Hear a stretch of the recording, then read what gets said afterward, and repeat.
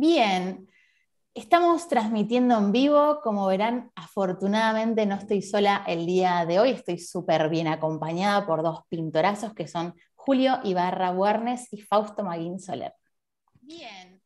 ¡Eh! Se escucha duplicado. Como verán, ah. afortunadamente no estoy sola el día Ahí estamos, perdonen. Ahí está. ¿Cómo andan? Bienvenidos. Qué hermoso que estemos aquí reunidos los tres juntos.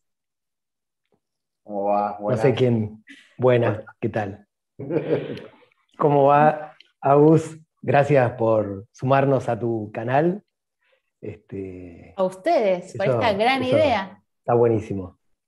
Gracias. Este, bueno. ¿Qué vamos a hacer el día de hoy, Julio? Bueno, no, la idea fue eh, principalmente em, elegir eh, a algunos de los grandes pintores que, hubo, o pintoras que hubo. Y bueno, en este caso yo elegí em, un cuadro que a mí me gustó mucho, que es de Pablo Picasso. Este, bueno, eh, ¿lo muestro? Ahí. Dale. Se, llama Ciencia y Caridad. Es atípico ver una obra así de, Picasso, ¿no? Con tanto realismo costumbrista. ¿eh? Eh, la idea es que. muy joven, ¿no? Decías recién. A los 15 años, 15 años tenía. ¿Qué estábamos haciendo a los 15 años, no? Nada. Las figuritas del chao. No, nada, nada. Es, una, una, cosa increíble. Eh, Picasso, claro, después de hacer esto, empezó a hacer lo otro, ¿no? Que era más, más suelto y con una idea más, más volada, pero este, principalmente elegí esta obra porque me parece, me parece increíble que a los 15 años piense de esa manera. Quizás un poco lo, ayudó el, padre, ¿no? que era academicista de la Escuela de San Fernando, eh, que lo ayudó más o menos en la idea de, este cuadro que se llama Ciencia y Caridad. Eh, aparte le valió un premio, eh, esta obra le valió un premio a, espérate que lo voy a leer porque esto, medalla de oro de la exposición provincial, mención honorífica de la exposición general de Bellas Artes. ¡Ah! Ya está, con esto. Así que nada, elegí esta, esta, esta imagen porque me, gusta la composición, porque se me, va, se me va a hacer un quilombo a la hora de de poder pintar en vivo esto, pero la idea principal eh, que, quería que quería decirles es que voy a trabajar con, una idea más em, personalizada. O sea, voy a trabajar con eh, una función más de tipo ilustración, eh, mezclado con un poco de caricatura, de, unas imágenes medias cute, algo bonito, este, cabezones, ¿eh? como mi hijo que, me, que en el colegio cuando le preguntaron qué hacía tu papá y dice, no sé, pinta cabezones sonrientes. Bueno, bueno, eso es lo que voy a hacer ahora con esta imagen que es bastante dramática en sí, pero la idea es hacerlas un poquitito más llevaderas, ¿no? un poco más, no te digo divertidas, pero que tengan más o menos el arranque de esto para después eh, culminar en una, en una ilustración. Así que bueno, eso, eso voy a hacer. ¿Y Faust? Yo voy a trabajar con una, imagen de, Rembrandt. Me pareció interesante eh, a nivel pedagógico. O sea, mi, idea no es hacer una, réplica, ni master copy, ni tratar de, copiarlo a Rembrandt. Es como dicen, no, Rembrandt es Rembrandt. Pero sí, un poco mi idea es tratar de rescatar recursos que utiliza Rembrandt para eh, hacer un retrato, crear una escena, etc. Recursos dentro de la plástica, dentro de lo que nosotros hacemos, como lo es, qué sé yo, el empaste, la textura, la presencia de la pincelada, eh, la presencia de las capas, tratando, bueno, de, acomodar un poco el, el, trabajo a una situación en vivo en la cual vamos a estar hablando y, bueno, tratando de ver cómo se va adecuando eso con los tiempos, ¿no? Es como, no, queremos que el bizcochuelo salga crudo tampoco, no lo queremos apurar. Entonces, un poco la idea que, tenía era hacer eso, extraer una, una, escena de una foto de Rembrandt, un detalle, poder ver a mí particularmente qué me ofrece Rembrandt, qué me, qué, ¿qué me está diciendo Rembrandt? ¿Qué me, ¿Qué me, puede prestar de su trabajo? Un poco mi idea es, es, esa, y muestro acá un poquito en pantalla, doy vuelta la, la imagen para que se vea si no toco esta cámara. Me gustaría trabajar con un recorte de la imagen que yo te pasé a esta. Voy a trabajar un detalle, me voy a centrar en la expresión de la mirada, me voy a centrar en las texturas y demás, y además voy a trabajar con algunas fotografías en la computadora como para tener una, una referencia de más. Lo ideal sería tener el cuadro enfrente, ¿no? Para ver cuáles son los colores de verdad. Pero eh, me pareció interesante y como Julio salió un poquitito con la, con la propuesta, esto de que sea una, una reproducción, o sea, que nuestro encuentro sea para reproducir algo y quizás no como para, qué sé yo, copiarlo, ¿no? Para mí, que soy maestro, tiene una función pedagógica, imagino que para vos también, Aus. Eh, y Julio, que es eh, un gran ilustrador, un gran dibujante, y no lo digo porque está acá Julio, o sea, lo, sabe todo el mundo, si no está, Y todo el mundo que haya visto el hermosísimo flyer que hizo para el día de hoy. Claro, no, eh, lo hizo en ah. mucha capacidad, entonces la, la, impronta creativa que él le va a poner a eso, qué sé yo, jugar un rato a partir de los grandes maestros, que lo que nos regalan es un poco su legado. Son como las enciclopedias para nosotros, ¿no? Cada vez que hay un mm. problema miramos a Velázquez, a Rembrandt. Así que bueno, eso. Mm. Me encantó la, propuesta.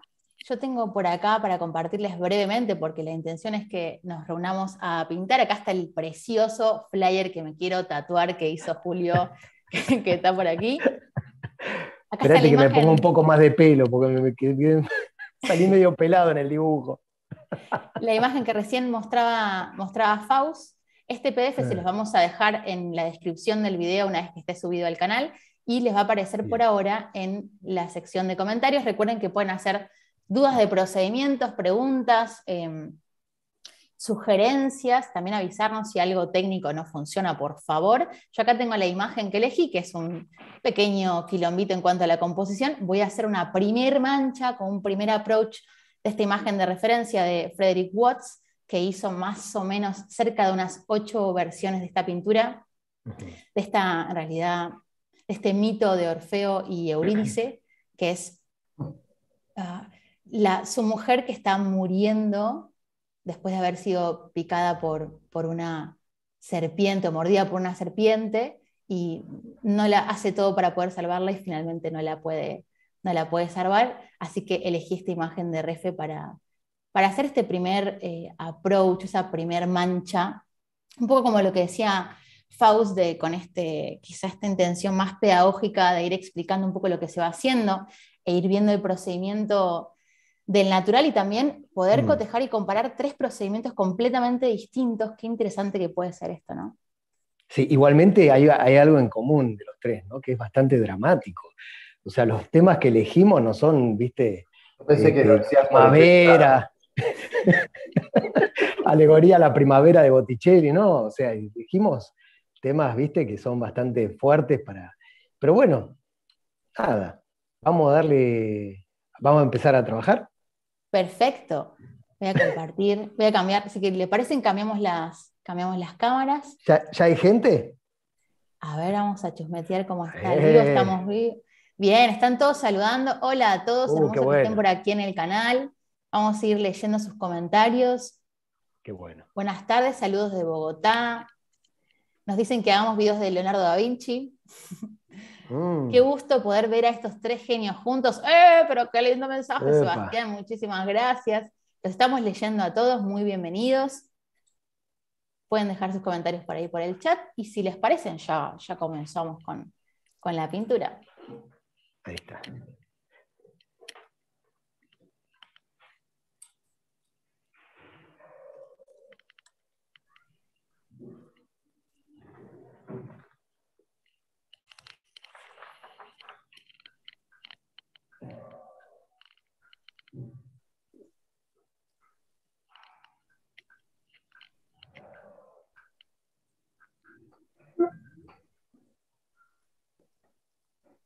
Bien, estamos aquí. Recuerden que también nos pueden ir siguiendo con sus screenshots o bien pintando un ratito con nosotros.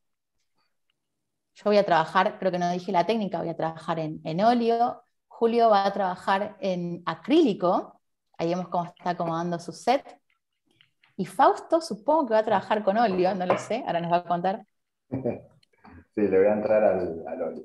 Vamos a tratar de, de jugar un poquitito con, con, el material de la pintura, pero sí. Estoy teniendo un problema, Agus. ¿Cómo hago para sí. acercar la parte de, de mi... Haciendo zoom. Eso, ahí No, está pero el- no. los- Pero no me aparece el zoom. Mm. A ver. Si tocas la pantalla, ¿no? ¿No aparece? No, no Pero me deja. ve, ¿eh? Yo lo veo bien, ¿eh? Eh, ¿Sí? Sí, sí, yo, yo por lo menos lo veo bien. A ver. Claro. eh, a ver. Ajá.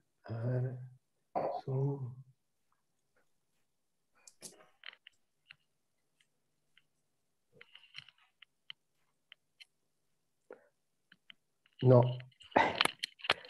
Me temo que eh, no, no me aparece como para acercarlo. Estoy pensando qué cazzo puede ser. A ver. A ver, vamos a ver.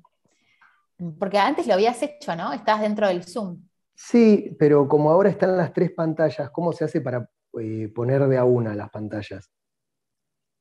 Ah, vas deslizándote con el dedo en la pantalla.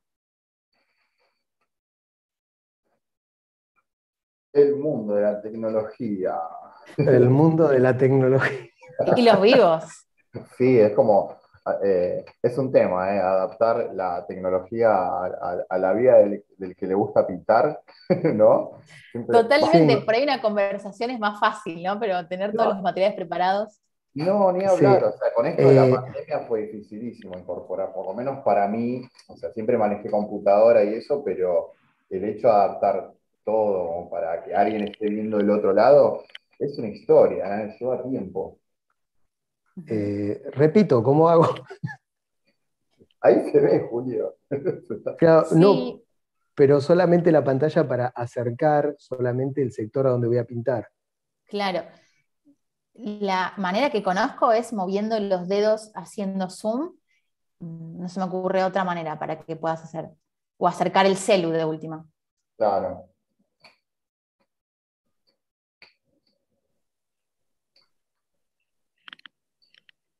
Qué lindo eso. ¿Qué es lino, Agustina? Sí, es Vamos. lino. Está muy lindo, ¿eh? Se ve un- muy lindo el color ese que tiene. Sí, tiene dos capitas, una capita muy fina de base oleosa, más Sí. rojiza, y otra capita más verdosa arriba. Bueno, voy a tener que trabajar así, de esta manera. No, Sí. no, no puedo, no puedo meterme en, solamente en mi, en mi pantalla. Sí, no sé cómo ayudarte. Quizá se me ocurre Sí. entrar y salir de la sala, a veces es algo de eso, de la configuración. Mm. Puedes llegar a ser. ¿Estás con la misma cámara que antes hiciste el acercamiento, Julio? Sí, ¿Sí? No es A la ver. frontal, o sea, es la, es la de atrás. claro. Ah. Eh, ¿querés que hagamos así? Con, Dale, si querés ¿Con probar, esto? porque antes funcionó perfecto, ¿eh? así que vamos a ver. porque así Fausto queda acomodando bien. la paleta, así que. Sí, tranqui, yo aprovecho el momento y me tomo mi tiempo.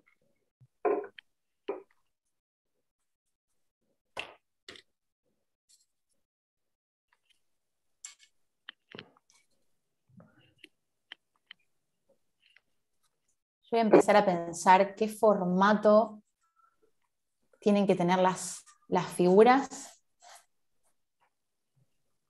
Esta imagen me pareció preciosa y estuve averiguando que este autor, eh, Frederick Watts, eh, era bastante fan de Tiziano y por eso las paletas que utilizaba, además de las figuras de- del Partenón, usaba mucho el contraposto, los, los giros de los cuerpos, figuras bastante idealizadas.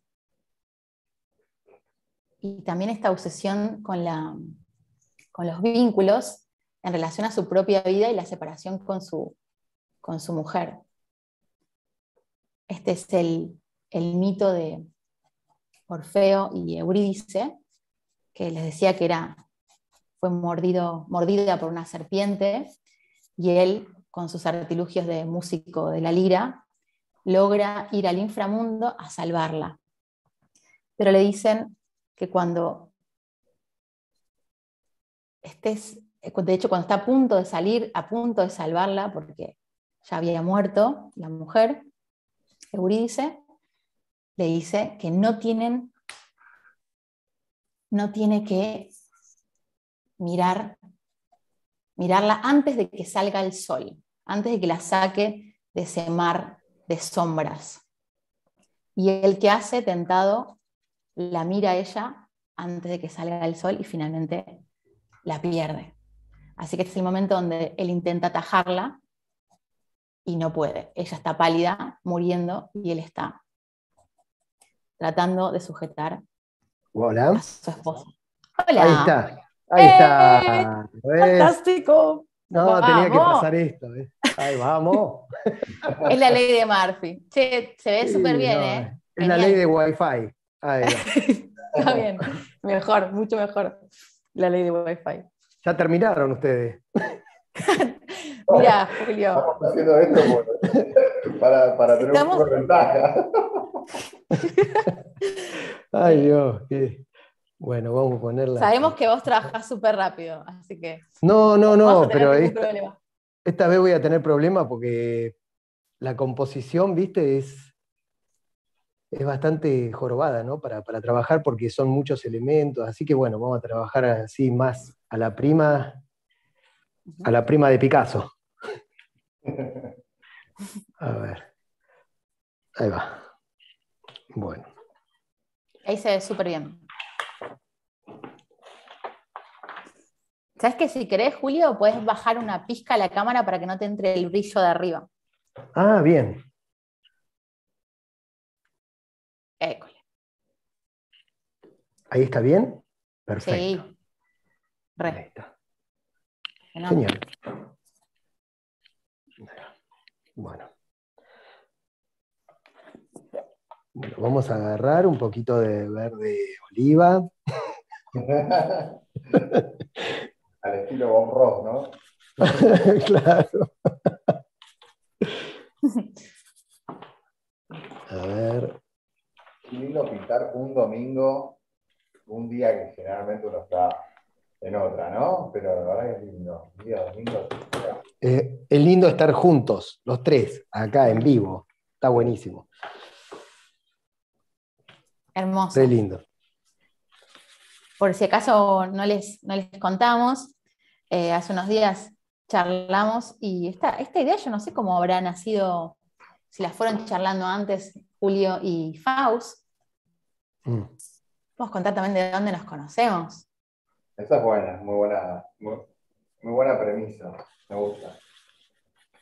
Que no sé bien de dónde nos conocemos a todo esto. Es más, es más, Es más, no Es nos más, conocemos ahora. no nos conocemos todavía. Claro. Bueno, pero podemos conocernos. A ver, espera. Vamos a poner. Yo primero te conocí a vos, Agus, en el, en el taller de Alejandro Boy. De ahí nos conocemos nosotros dos. Claro, exacto. Tomábamos clases con Alejandro Boim. Acá aprovecho para mostrarles las premezclas antes de, de toquetearlas. Tengo algunas premezclas para adelantar un poco. Sí, exacto, del taller de Ale. Exactamente. Somos de hace unos cuantos años. Yo fui al taller de Ale justo el, el último día que, o sea, fue el último año que él dio clases. Y si te acordás, Agus, el último día que dio clases nos dio una clase a nosotros de color. ¿Te acordás? Sí, qué hermoso. Qué memoria, Fausto. Nos sentamos en el piso, ¿te acordás? Me encanta, me encantaba ese espíritu hippie del taller. Sí. Que era cero hippie, pero eso era particularmente. Lo que más extraño era, era tomar el, el mate cocido en la cocina. Era como un momento hermoso. El ritual, sí. Vale. Éramos como 10 adentro de un ascensor tomando mate cocido. Pequeñas cosas, ¿no? Que, que hacen todo. Está bueno. Sí. No, y aparte Ale es una, una gran persona, un gran maestro y. todos los que pasamos por, la, por el taller de él le tenemos mucho cariño. Por eso, ¿no? Porque primero es, un, es, es, un, es una gran persona, lo pongo ante todo. Después es una, un increíble maestro y bueno, pues un Mm. tremendo dibujante, pintor. O sea, es una muy buena persona. Un combo. Sí, muy buen tipo. Totalmente. Muy generoso, muy sensible, de apoyar mucho a los alumnos, cosa que a veces no sucede, ¿no? No, pero aparte, eh, o sea, eh, te metía presión en el mejor sentido, ¿no? Como él te quería sacar bueno, venía y, te decía, vamos, vamos con esto, vamos con esto, era como, era como un- ir a jugar a, no sé, un equipo de fútbol, ¿no? Esa presión del director técnico era, dale, dale, hay que meter el gol, ¿viste? Había que invocarla. Eh, y lo, lo lindo que tenía eso, eh, nada, llegabas y aparte te preguntaba, ¿viste? ¿cómo estás? ¿Estás bien? ¿Viste? O te veo un poco raro, te pasó algo. O sea, no era una persona que solamente te daba una clase de pintura y ya, ¿no? O sea, él te quería conocer como persona, eh, y te podía ayudar, te ayudaba también. Eso muy, lo, lo tengo siempre presente, muy buena persona. Y ahí nos conocimos también con Bel Calabria, con Melissa. Sí, exacto.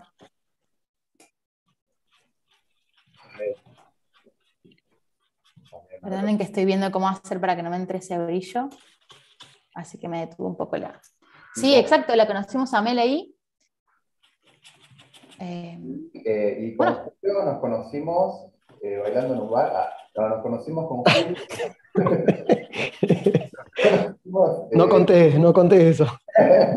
Nos conocimos en tu casa. O sea, a mí me había. Sí, Habíamos ido con Guillermina, estaba Horman, eh, Luz Fumaneri, que también Luz es una grosa, está en, en España ahora pintando. Luz, estás ahí o ves el video, te mandamos un abrazo, una genia Luz.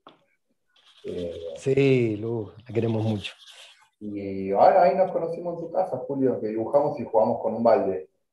Con un balde a invocar una pelotita. No, sí, son cosas medias extrañas, pero bueno.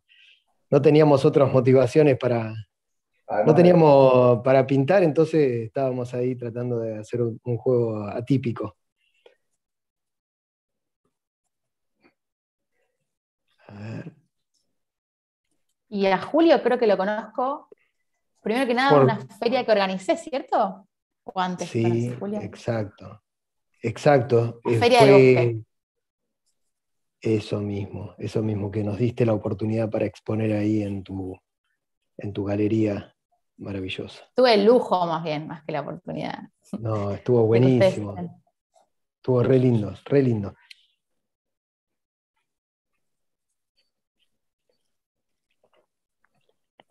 ¿Con qué estás, qué, qué estás usando, Agus, para arrancar a hacer? ¿Estás haciendo como, un, como una infrapintura, un underpainting, algo de eso? Sí, estoy haciendo, separando un poco los valores y Sí. chequeando que estén bien los espacios de las, los espacios negativos, si no están muy a izquierdas, si me entran bien las figuras. Estoy testeando un poquito eso. ¿Qué color usas para hacer eso?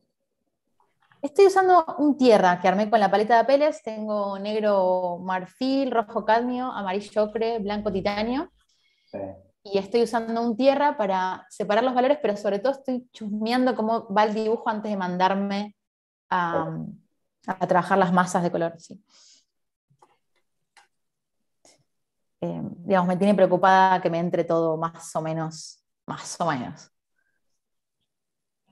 Eh, estaba mirando que la cabeza del muchacho va más abajo, así que debería bajarlo un poquito.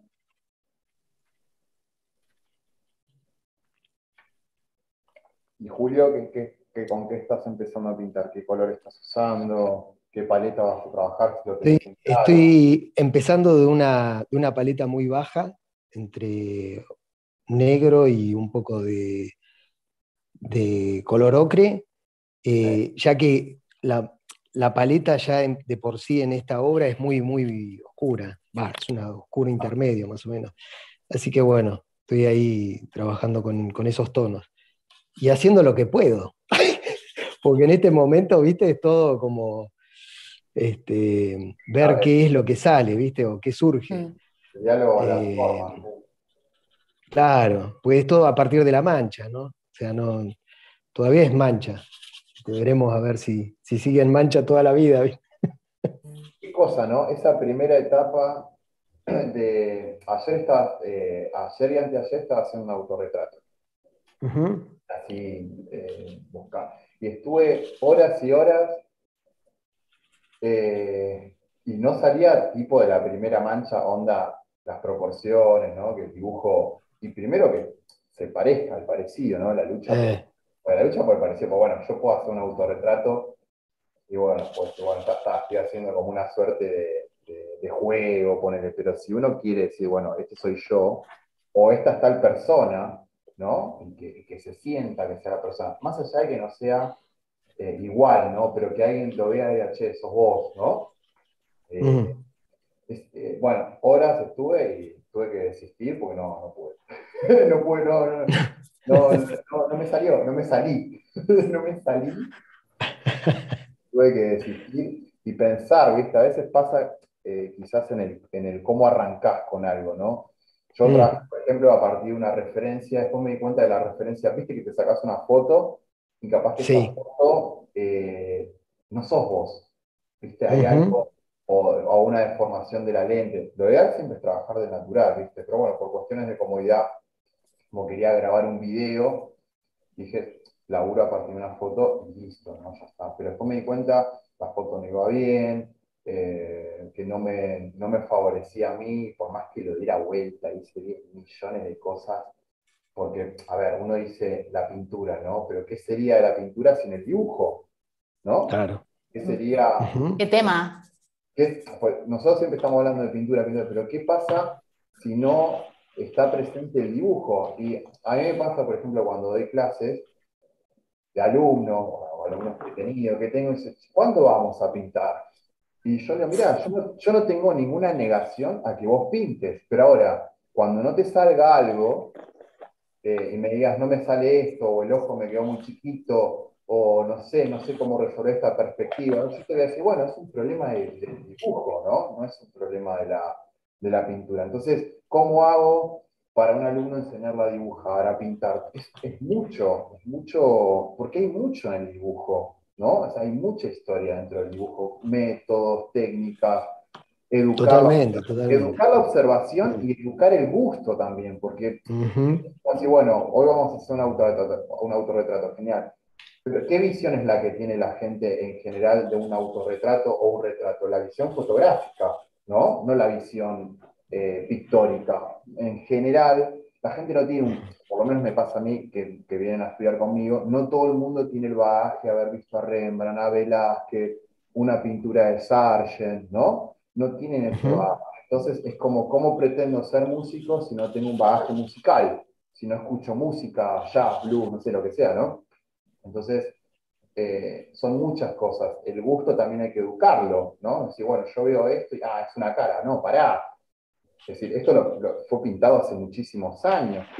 ¿Por qué este pintor fue importante entre otros? ¿no? ¿Por qué se Entonces, eh, la importancia también en lo que es la, educación, en lo nuestro, de varias cosas, cuestiones filosóficas, cuestiones que tienen que ver también con, con la historia del arte, qué importante que es estudiar historia del arte. O sea, no se trata, bueno, agarro un pincel y soy pintor, ¿no? O sea, son para mí, ¿no? No sé qué opinan ustedes, pero es un combo de todo.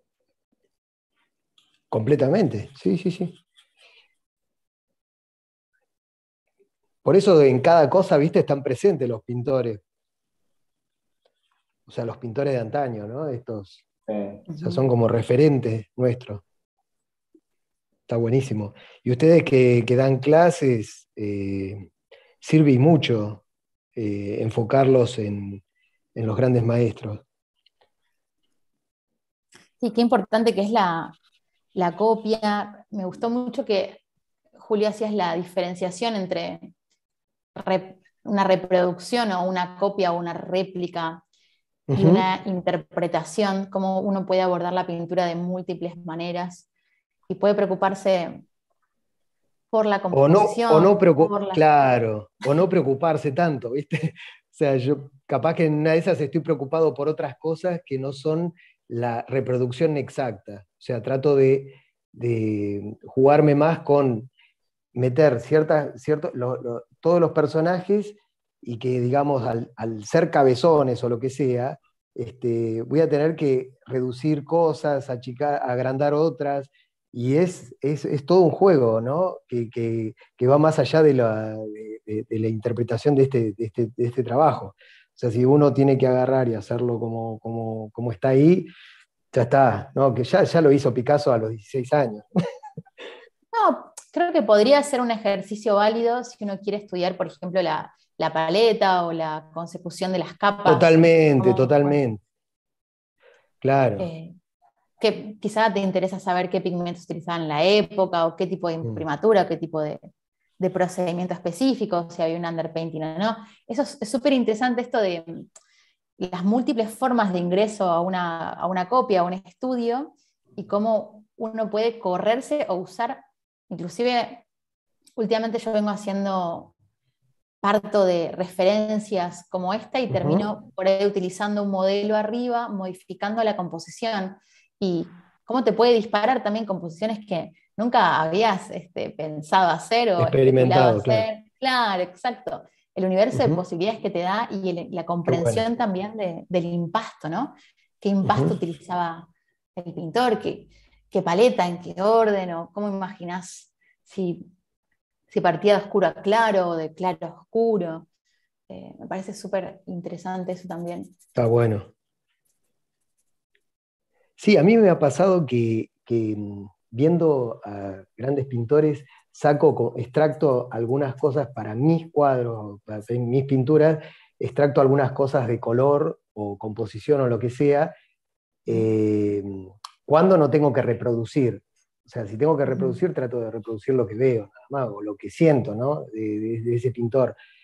Ya reproducir una obra, digamos, eh, tal cual es, significa estudiarla, irte al museo, copiarla, que eso ya es, un, es todo un tema, ¿no? Yo he visto gente que, que, están en el Museo del Prado, en Louvre, que están reproduciendo, pero de una manera increíble.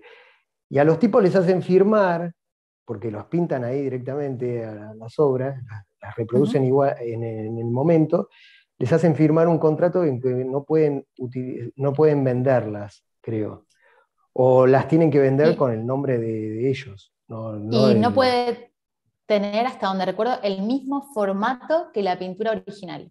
Ahí está. Eso, qué bueno sería que en Argentina también se pueda hacer, porque uno puede ir a dibujar al Bellas Artes, pero yo he probado ir a pintar y tenías que generar un permiso y por lo que me dijeron no te lo daban, ojalá que ahora haya cambiado, esto fue hace varios años, pero, pero sí en el Museo del Prado es algo mucho más habitual, si bien hay que avisar con antelación y hay épocas donde se puede ir a hacer reproducciones y épocas donde no. Si alguien en el chat eh, vive por ahí cerca del Prado, que por favor nos, nos arroje alguna este, idea al respecto, porque seguramente sabe mucho más. Em, mm. Pero sí, que, qué hermoso que es ir a hacer o a estudiar eh, el procedimiento de, los pintores que te gustan eh, sentada enfrente de los originales, ¿no? Porque siempre pasa oh. esto de que la pantalla nos hace creer que estamos frente a la pintura y definitivamente no lo estamos. Totalmente, qué lindo. Y bueno, hay que hacer un viajecito. Ay, sí, pero, pero bueno, ya viajaste vos, Agus no, no conozco el Museo del Prado, no fui a España, me encantaría. Eh, viajé a Noruega y a, Suecia. Qué maravilla. ¿Y la experiencia? ¿Qué? Ahí está Luz, perdón, ahí está Luz en el chat, ahí manda saludos. Eh, ah. hermoso. Un beso, Luz. Tengo un brillo que me está matando, pero la verdad que no lo puedo sacar, así que les pido disculpas ya a las personas que están viendo la pantalla. Dice, Hola amigos, qué lindo verlos pintar. Yo también los quiero mucho, dijo Luz. Ay. qué cantidad de chats, ahí les estoy chupeando. Hermoso que estén por ahí. Hola, Luz, qué, maravilla que estén por ahí. Recuerden que pueden estar pintando también. Que hay muchísimas personas en el chat, ¿eh? maravilloso. Uh, qué buena onda, qué buena onda.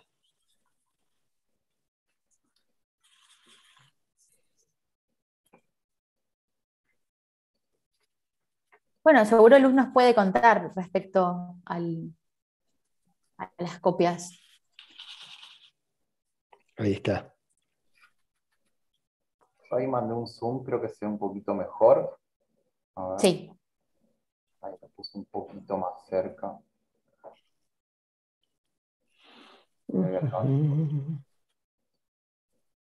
Ahí le levanto un poquito la luz.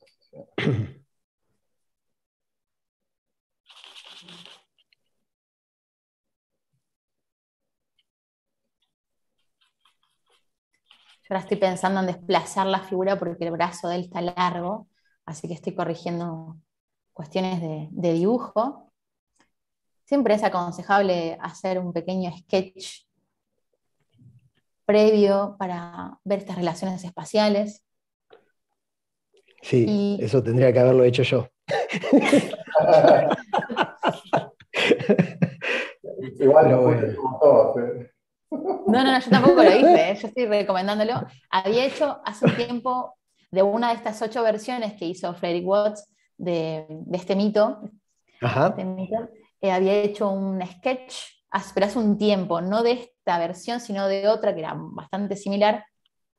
Y siempre ayuda, ¿no? Tener un pequeño bocetito previo. y también, quizá ayuda también en el caso del óleo trabajar con una carga no demasiado densa para poder desplazar no tener miedo también de volver a comenzar porque puede nada funcionar y está, está bueno que el dibujo más o menos se articule bien para poder ir avanzando de manchas grandes a manchas cada vez más pequeñas y usar también pinceles relativamente grandes para simplificar información. Totalmente. Lo que pasa es que, claro, ¿en qué medida estás trabajando, Agus? ¿Qué será esto? A ver, porque... ¿Qué será, qué y debe ser 30 por 25, más o menos. ah, no, estamos tan, tan alejados. ¿Vos, mm. Faust? Más o menos, sí, debe ser 30 por. Sí, más o menos en la medida. Ah, bueno, entonces estamos todos más o menos con la misma. Claro, estamos todos más o menos con la misma medida. Y porque si haces muy grande es, un lío, ¿no? Acá, con, mucho, claro, desplazamiento de cosas.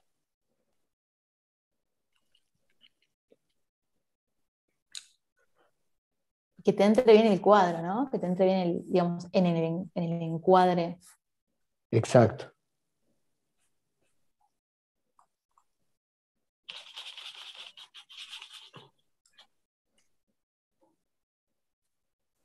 Es buena esto de, de tener el, el micrófono no, no sabía estas cosas. ¿De tener? Claro, de usar el micrófono, porque concentra más. Ah, en cambio, si yo lo llego a dejar, eh, tienen que escuchar al vecino cantar. Eh, no, no, creo que les guste mucho. Hay un vecino que canta, muy molesto. no se escucha a tu vecino cantar. Eh. No, por suerte.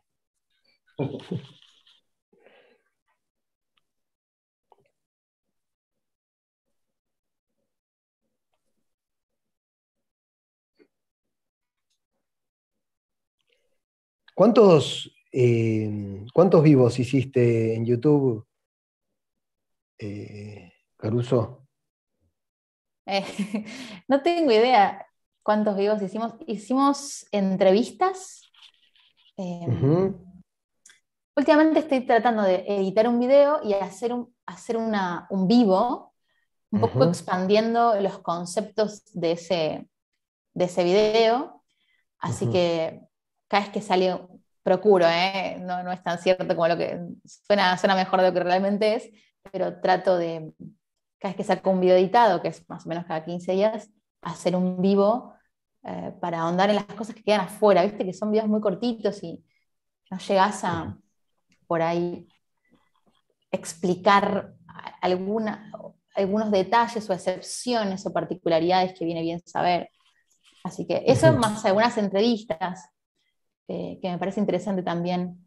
me gustaba que en un canal de YouTube haya mm, no solo material útil eh, a lo tutorial, ¿no? que tenga este espíritu más de tutorial, sino también material útil de entrevistas, de personas que por ahí transitaron algunos espacios que a uno le, interesa como pintor. O, este, hubo uno, por ejemplo, de digitalización, que me parecía algo bastante útil para los pintores, de cómo digitalizar, cómo fotografiar, cómo escanear, qué resolución, herramientas para dibujantes y pintores tradicionales que puedan colaborar este, en la ejecución más profesional, digamos, de su labor.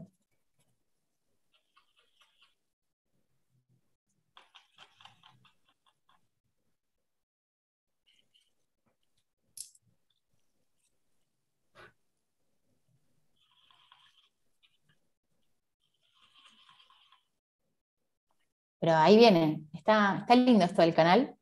Lleva mucho trabajo, pero es muy lindo. Claro, sí, me imagino.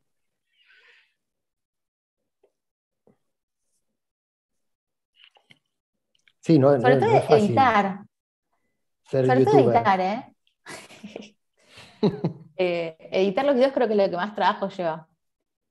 Porque ah, hacerlos me parece súper interesante, o sea, la paso súper bien haciendo los videos pero editarlos me lleva mucho tiempo. También me gusta, lamentablemente.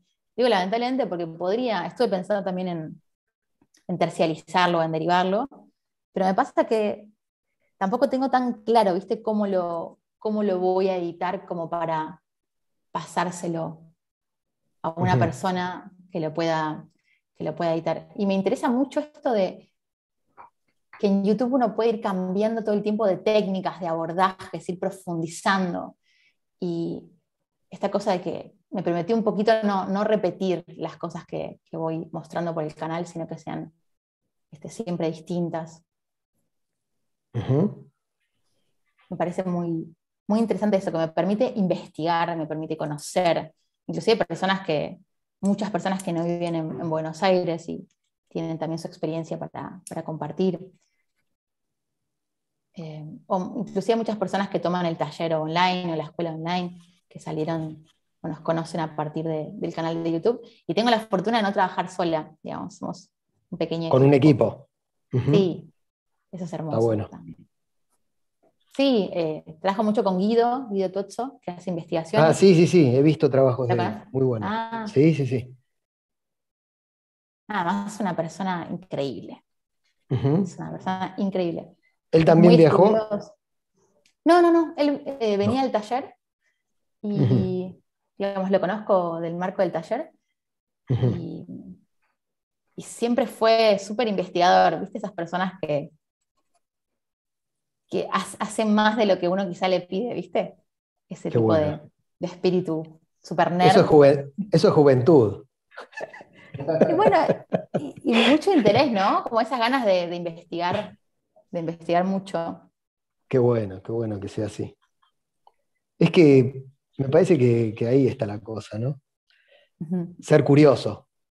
Eso, totalmente, totalmente. Ser curioso. Qué hermoso, qué hermosa descripción que hizo Julio. No sé, a veces se me, se me da por dar cosas increíbles. Digo una entre en dos horas. ¿Ustedes ya venían pintando juntos eh, de manera online o presencial con cuerpos? Eh, ¿Cómo con cuerpos? si se encontraban físicamente. No, fue solo sexo lo nuestro con. Fue solo una, noche, una noche de copa. No, y el balde, el balde.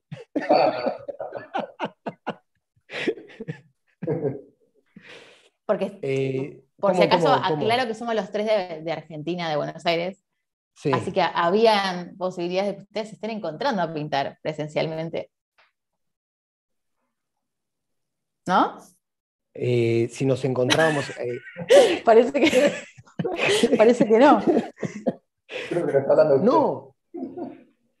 Ah, si nos encontramos eh, nosotros para, pintar alguna vez. Claro. en vivo. En vivo. Ah, Ah, no, Quiero a decir que se nota que hay muchísima confianza entre ustedes y que probablemente Sí. viene de larga data. Esa era mi, mi- Sí, sí, sí, comentario. tenemos. Sí, pero eh, a- más a dibujar en vivo, ¿no? A pintar nunca, nunca hicimos. Estaría bueno, es- le, le había dicho las otras veces que, que nos juntemos a pintar, que estaría buenísimo. Pero bueno.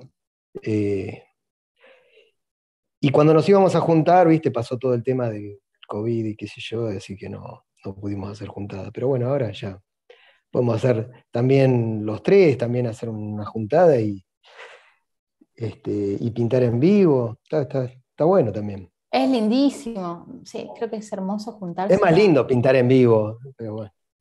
O sea, Sí, claro. A eso iba con cuerpos, ¿ves? No excluía Ok, ok. sexo. no, no, no. No, nunca pensé. ¿no? Hicimos unas juntadas así, tipo, nos fuimos a tomar un cafecito, dibujamos un poco. Ah, eso, qué hermoso. Fueron a, a un bar, ¿cierto? Claro, nos juntamos ahí cerca de, ¿cómo es?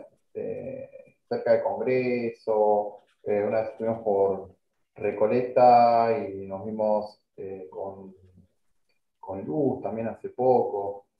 Eh, Sí, pero sí, sí, la- a ver, es un poco lo que hablamos siempre, ¿no? A veces somos unos cuantos los que pintan, pero no, no nos vemos, ¿viste? Nos cruzamos por ahí cada tanto en alguna exposición, una cosa así. Entonces está bueno, qué sé yo, juntarse a, a, no sé, como otros amigos se juntan a jugar a la pelota, nosotros nos juntamos a pintar, ¿no?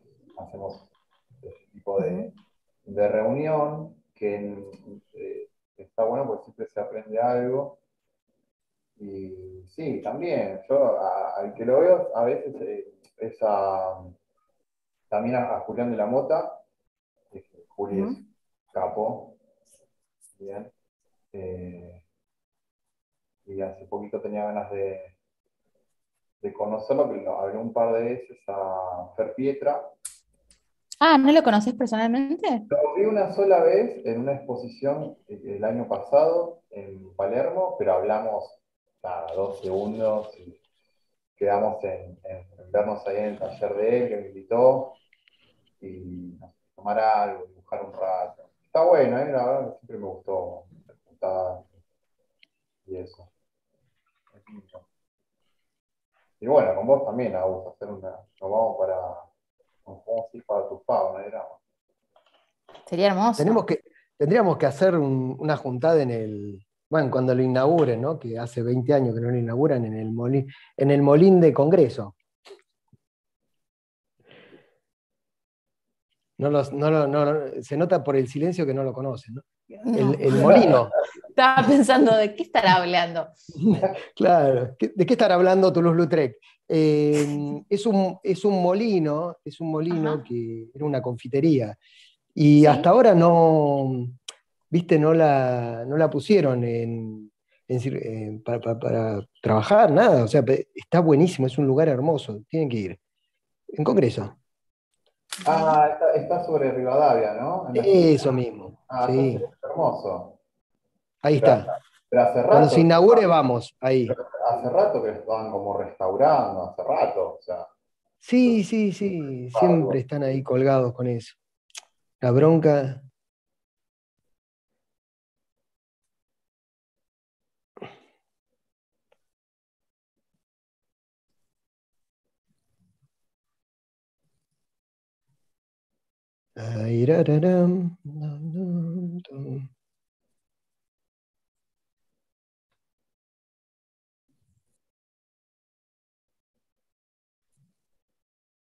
¿Están, no? Sí. Yo Ah, digo, digo, por la duda, ¿viste? No, está, está muy bien. Concentrémonos, concentrémonos. Es que esta es la, esta es la peor parte, en mi caso. A mí desde el a mí desde que comenzó esto. ¿Viste? Te agarra como un una, una falta de memoria, ¿viste? Una falta de memoria. Decís, ¿qué pasó? No me acuerdo ni cómo, cómo se hacía un ojo, cómo se construía una nariz, nada. O sea, te, te agarra una desesperación, ¿viste? ¿Dónde está todo lo que aprendí? Eso es lo que siempre me, me me pareció terrible, ¿no? Un día despertarte y no, no, no, no saber cómo pintar o dibujar. Digo, ay, qué horrible que debe ser eso. O sea, cada vez que me levanto y pinto y dibujo, soy feliz. O sea, y yo digo, hay gente que capaz que en una de esas, imagínate, imagínate que te pase eso, debe ser terrible. Que te olvides. Que, sí. Que te olvides de todo. Perder la memoria. Y ya que estamos. Eh, eh, perder el, oficio. Debe ser terrible. Por suerte eso no pasa. Es que no, tiene, no, tiene que pasar. sí, a mí me parece. Si no estás en esa, ¿no? Como. Igual pasa una semana y no pintas y algo se te enfría la mano. Sí, re. Como si pintas eh, varios días seguidos también uh, es, mucho más flojo. Mm. Es muy parecido a la música, ¿no? Que uno, si precalentas un poquito antes, estás mucho más confiado también y puedes predecir mejor las mezclas, las cargas. Estás más sensible a las cargas. Es increíble cómo afecta la pintura la, la presión y la densidad de la materia que coloques en el pincel y cómo se nota mucho cuando hay pintores con mucha, muchísima experiencia que sujetan el pincel ya pudiendo especular eh, de manera mucho más amplia qué es lo que va a pasar. Mm. Y tiene que ver mucho con la, me sorprende eso, tiene mucho que ver con la presión, con la sujeción del pincel, la presión y el pensar toda la vez, la temperatura, el valor, el arrastre. Este... Sí, completamente, sí.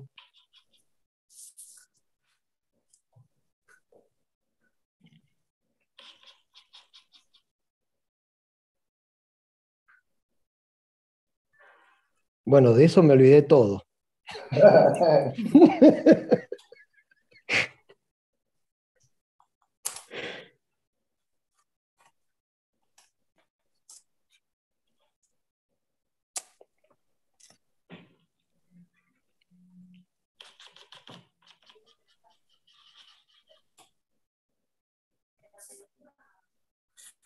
Bueno, no, logré sacar el brillo, así que ahora estoy moviendo el bastidor.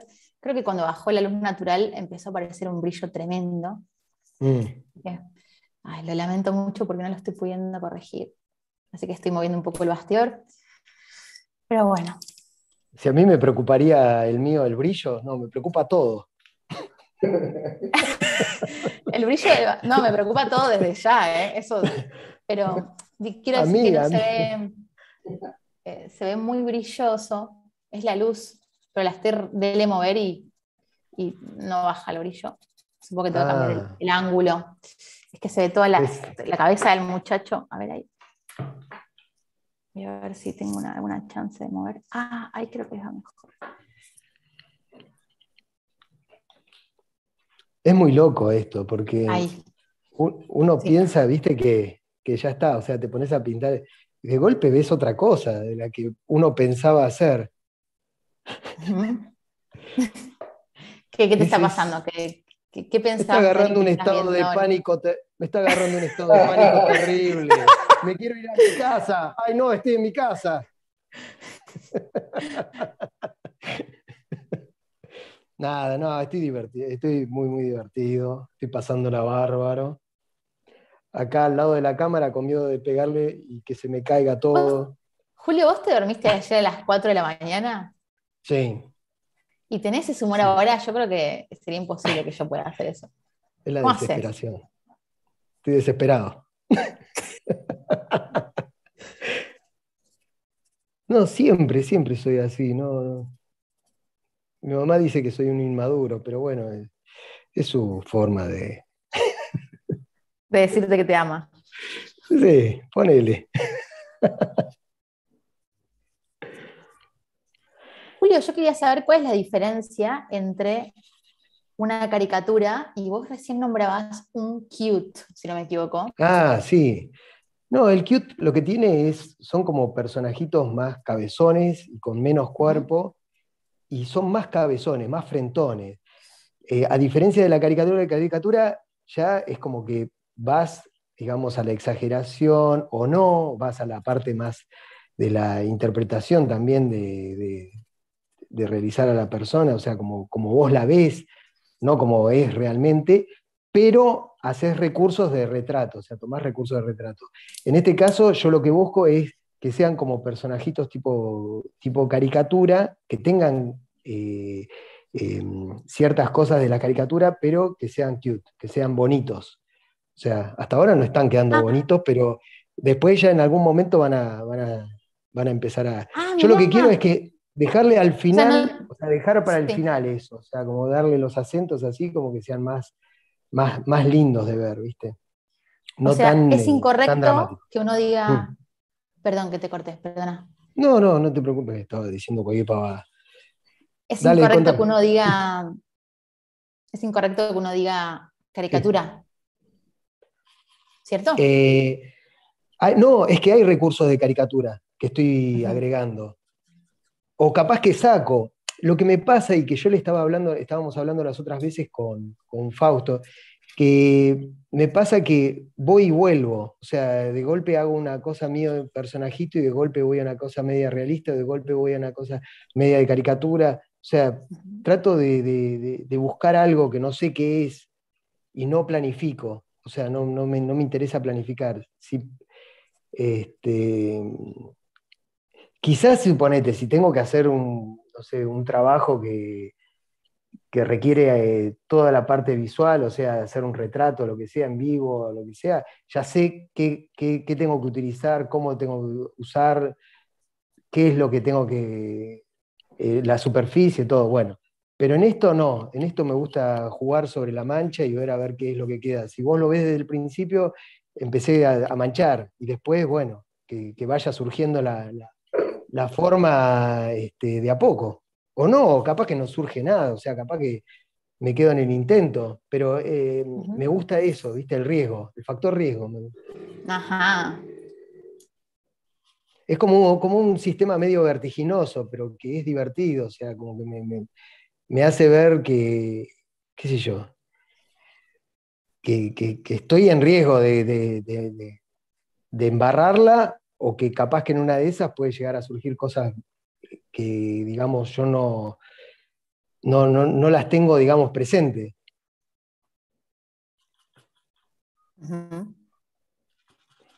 es, tan lindo eso. A veces el tener un tiempo. Es lindo cuando sale. Sí, y, no, también cuando no sale se aprende mucho y el tiempo a veces cuando es limitado, mm. pasa mucho cuando te posa alguien, ¿no? Recién, hace un rato hablaban del modelo vivo. Y sí esto de estar trabajando con alguien enfrente, tener el cronómetro o el temporizador, cómo hace que uno aproveche de mm. distinta manera los tiempos y esté más atento también a lo que está haciendo. Sí. De una manera apaga un poco el afuera cuando estás trabajando con, modelo. creo que tenés un grado de concentración muy alto. Totalmente, sí. Y acá en el caso del tiempo, además de tener una cámara enfrente, uh. tiene pero la misma presión es, creo que, también está buena, ¿no? Porque, mm. viste, hace que, hace ver el máximo de tus posibilidades, ¿viste? Como que arriesgás, ya está. Si no sale, no sale, bueno. Nunca sale, ¿no? No. Tiendo a creer que nunca sale. Que cada vez sale mejor, pero a su vez nunca sale. ¿Viste? sale lo que, lo, que, lo que uno tiene en la cabeza, nada más, no sé. O sea, en este caso estamos haciendo un, algo que, ya está, digamos, armado. Está resuelto, claro. bueno. Claro.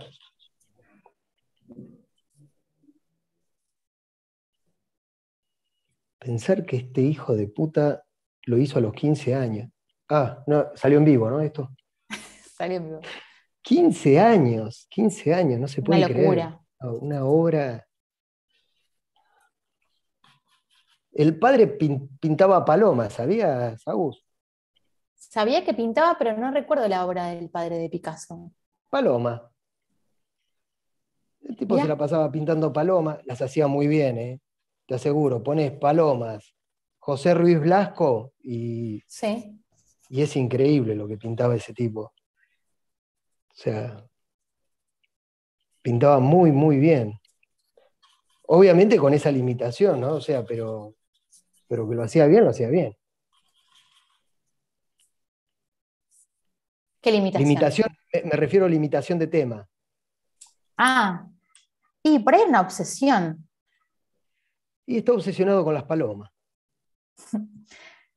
A mí me parece que hay mucho de eso. En el caso, por ejemplo, de este pintor de Watts, que esta versión la hizo ocho veces. Ah, cont- contá, contá- contá por qué elegiste tu, esa pintura, Agus. Qué buena pregunta. Estoy trabajando hace un tiempo con algunos pintores clásicos que me gustan mucho, desde ya que, Ujú.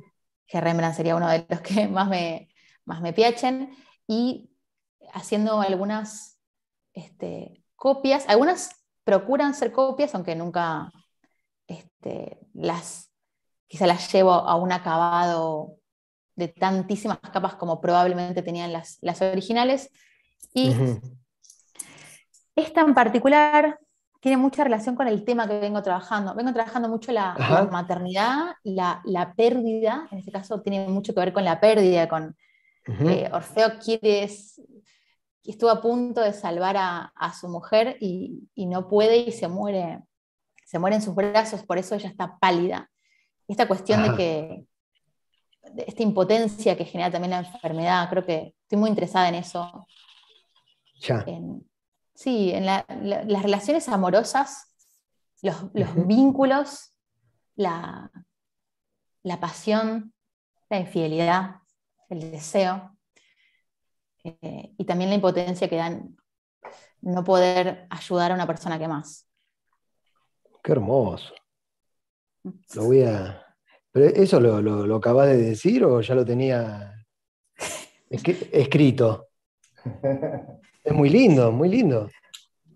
Bueno, muchas gracias. No, Pero de, verdad, eh, hay algo en los, en los vínculos que me parece que la, que la pintura cuenta esa pequeña historia y que tiene esa sensación de...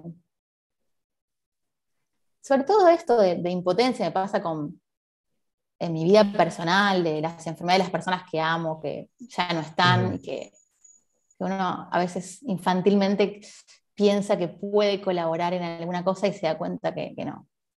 Y eso Claro. me transmite esta pintura. Mm. Claro, el, el contexto de. A mí me pasó con mi tío, ¿no? Cuando lo, lo vi y de la manera que lo vi ahí en el hospital y todo, y él me enseñaba arte, es como que se te cruzan todas eh, imágenes para, para realizar de ese tipo, ¿no? O sea, está. eh, es lo que uno vive, ¿no? El, el tema de pintar. Está bueno, está bueno que lo hagas de esa manera. Está buenísimo. Creo que hay algo del. Sí, por lo menos en mi caso, del, del interés de los motivos muy vinculados a, a- a las cosas que me preocupan, que, que creo que nos preocupan a todos, ¿no? Básicamente la muerte. Pero ni si- no solamente la, la propia, que es un gran tema, sino la- las, cómo gestionar las ajenas que se, que se están Mm. viniendo, que han venido y que vendrán.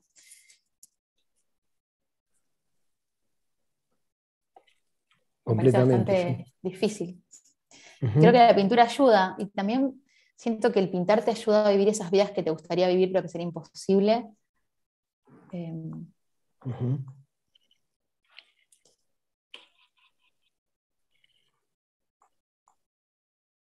y me parece también súper hermoso eso. Y poder configurar, de alguna manera es, es extraño cómo se configura poco a poco un ser ahí adentro, una cosa medio viva, pero que a su vez es un pedazo de cartón, un pedazo de papel, un pedazo de... Eh, eso me parece fascinante.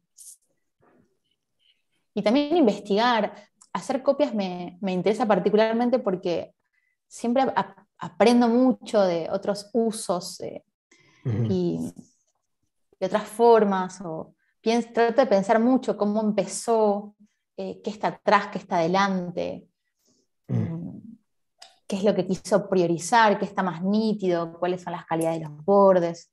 Me, me genera, digamos, técnicamente una curiosidad, como decías vos, eh, Juli, y por otro lado, ese vértigo también, y a su vez, también me gusta mucho pensar en una, un pequeño homenaje de estos personajes que nos, que nos dan tanto. Bueno, recién ustedes decían, hablaban de la copia, la importancia de la copia como un elemento de estudio y de interpretación, ¿no? Y cómo uno puede alejarse de la referencia o preocuparse o centralizarse eh, quizá solo en, alguna cosa o en el tema, inclusive quizá un tema que nunca, que nunca harías. Eh, claro. Me parece súper enriquecedor, súper enriquecedor. Eh, para nada limitante. no, siempre suma eso. No, viste que por ahí está un poco esta idea a veces de, que es limitante hacer copias. ¿Viste? Claro, sí, sí. Lo que pasa es que se aprende mucho y eso hoy en día, digamos, me parece que, que, muchos quieren desaprender más que aprender. Este, las escuelas de bellas artes tienden, tienden a eso, ¿viste? a desaprender un poco. Y me parece que necesitan aprender este tipo de oficios para, para después eh, que hagan lo que quieran, ¿no? O sea, no quiero generalizar, eh, ojo, o sea, capaz que en una de esas hay gente que, se preocupa por este tipo de cosas, pero me parece que acá está toda la información, después hacer lo que se te cante, ¿no? Eso me parece que es más... Totalmente. Y se nota cuando uno conoce, Faust decía esto de historia del arte, o diferentes cápsulas. Eh, mm ideas satélite y conceptos satélite de la pintura que ayudan tantísimo a entenderla. Eh, recuperar también la, tradición, recuperar, mantener y avivar la llama de la, tradición del oficio, ¿no? Que la copia es una forma de estudio, que, que el pintor estudia pintando. Completamente.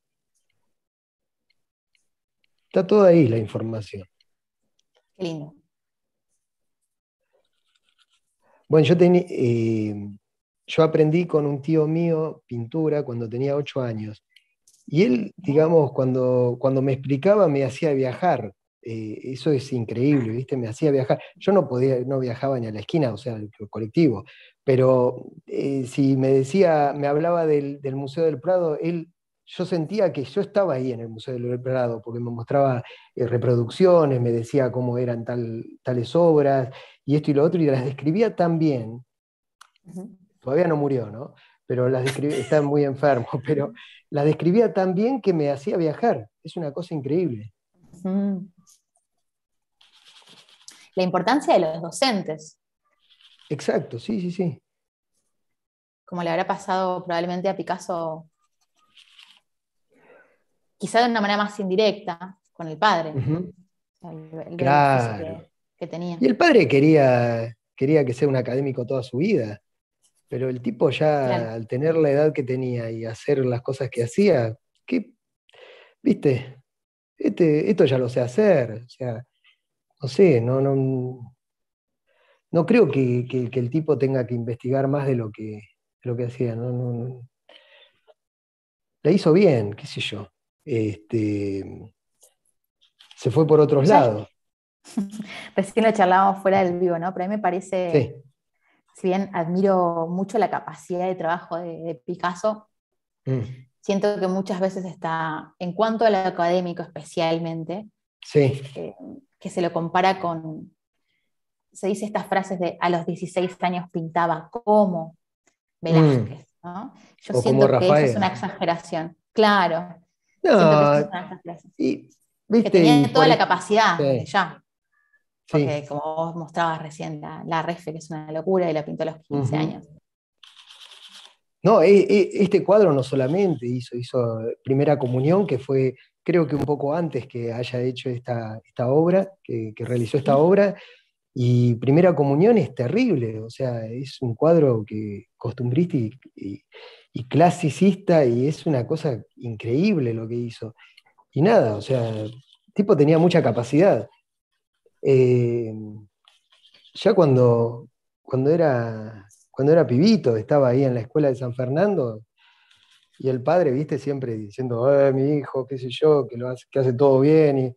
Y, entonces en, un momento el director de la, escuela de San Fernando le dijo, che, me parece que puede caer una inspección, así que tu hijo que huele, dice. Si no, podemos hacerle una especie de, de, eh, un, dibujo realizado al carboncillo, eh, de unos calcos, tiene que hacer unos desnudos, una figura humana, y esto y lo otro. Y dice, tiempo le podemos dejar eh, un mes.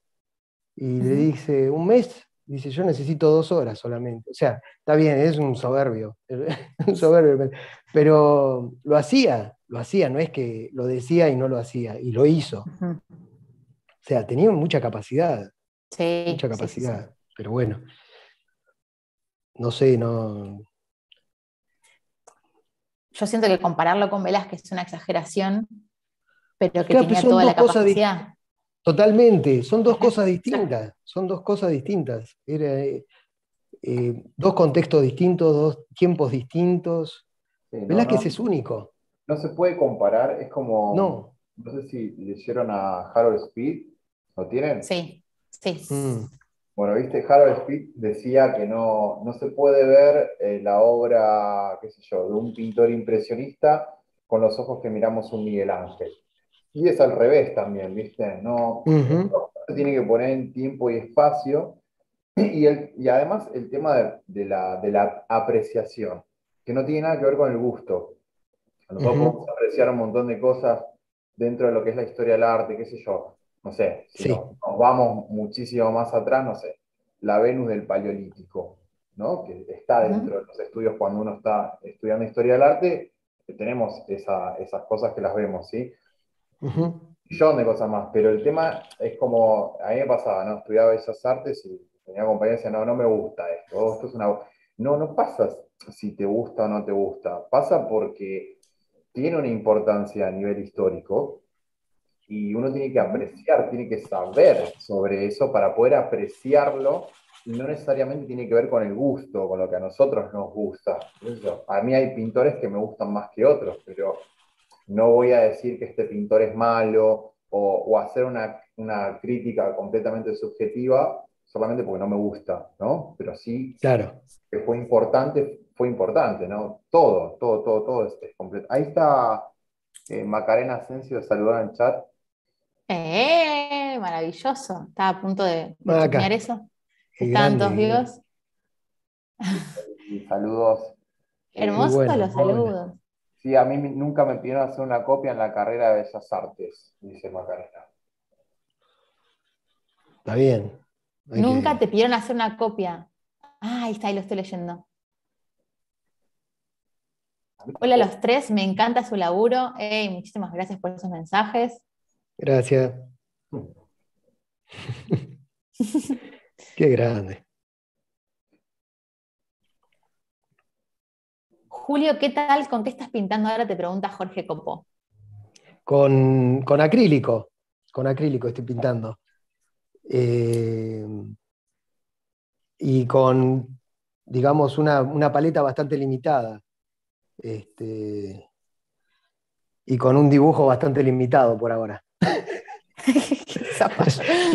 la, idea, la idea, Copo, es eh, eh, ver desde la mancha y después empezar a, dibujar, pero empezar de la mancha, ¿no? O sea, eso es lo Es más, capaz que algunas cosas las voy a dejar como mancha, porque me parece mucho más interesante que, que, la parte terminada.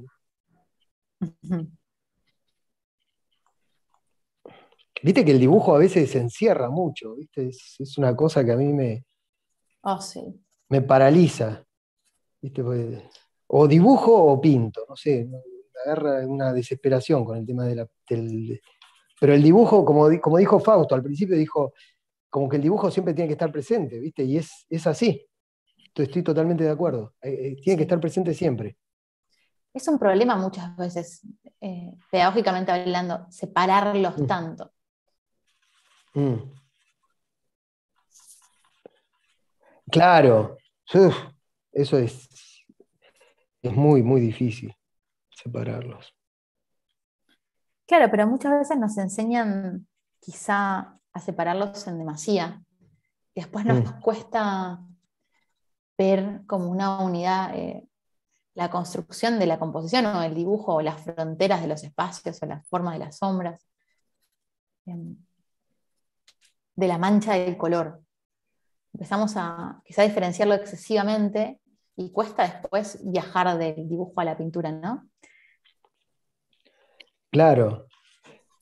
Es como que, que está bueno es- esto que decís, porque viste, uno va a la mancha, por ejemplo, y después dibuja. Y después lo que le pasaba a Pi- a Picasso, no quiero ser muy reiterativo con Picasso, pero lo que, Está le pasaba al, que lo que le pasaba al genial Picasso.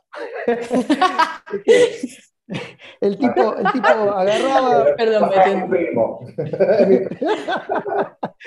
el tipo agarraba, manchaba esto, y de golpe volvía a dibujar, y de golpe manchaba, y volvía a dibujar. Esa, esa cosa de, de- de- de la pelea, ¿no? Bueno, De- Ah, sí. volviendo a, a, a Harold Speed, a mí me gusta, me encanta, me encanta Harold Speed. Eh, eh, decía, ¿no? Que para, decía, para ganar una obra hay que perderla mil veces. Me encanta eso, porque es, Perfecto.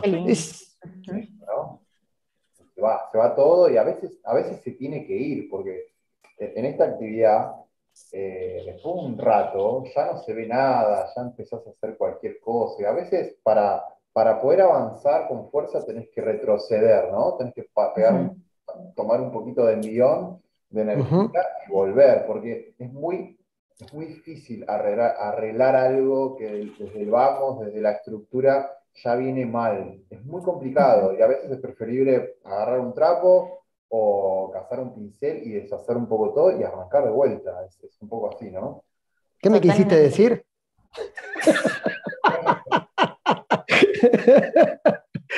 No, pero es, es- es así, claro. A- eh, y eso lo he hecho, o sea, a mí me encanta hacer eso, porque, porque es como que ya el- el- lo que vos pintaste y lo que vos ya dibujaste ya te queda en la memoria, te queda como registro, ¿o no? Claro, sí, totalmente.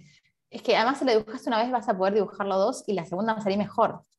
Sí. Sí. Y, otra, y otra cosa que, que tiene el, el óleo, ¿no? Yendo al tema del óleo, que eh, no conviene eh, ar- arreglar el error, corregir el error, metiendo más pintura.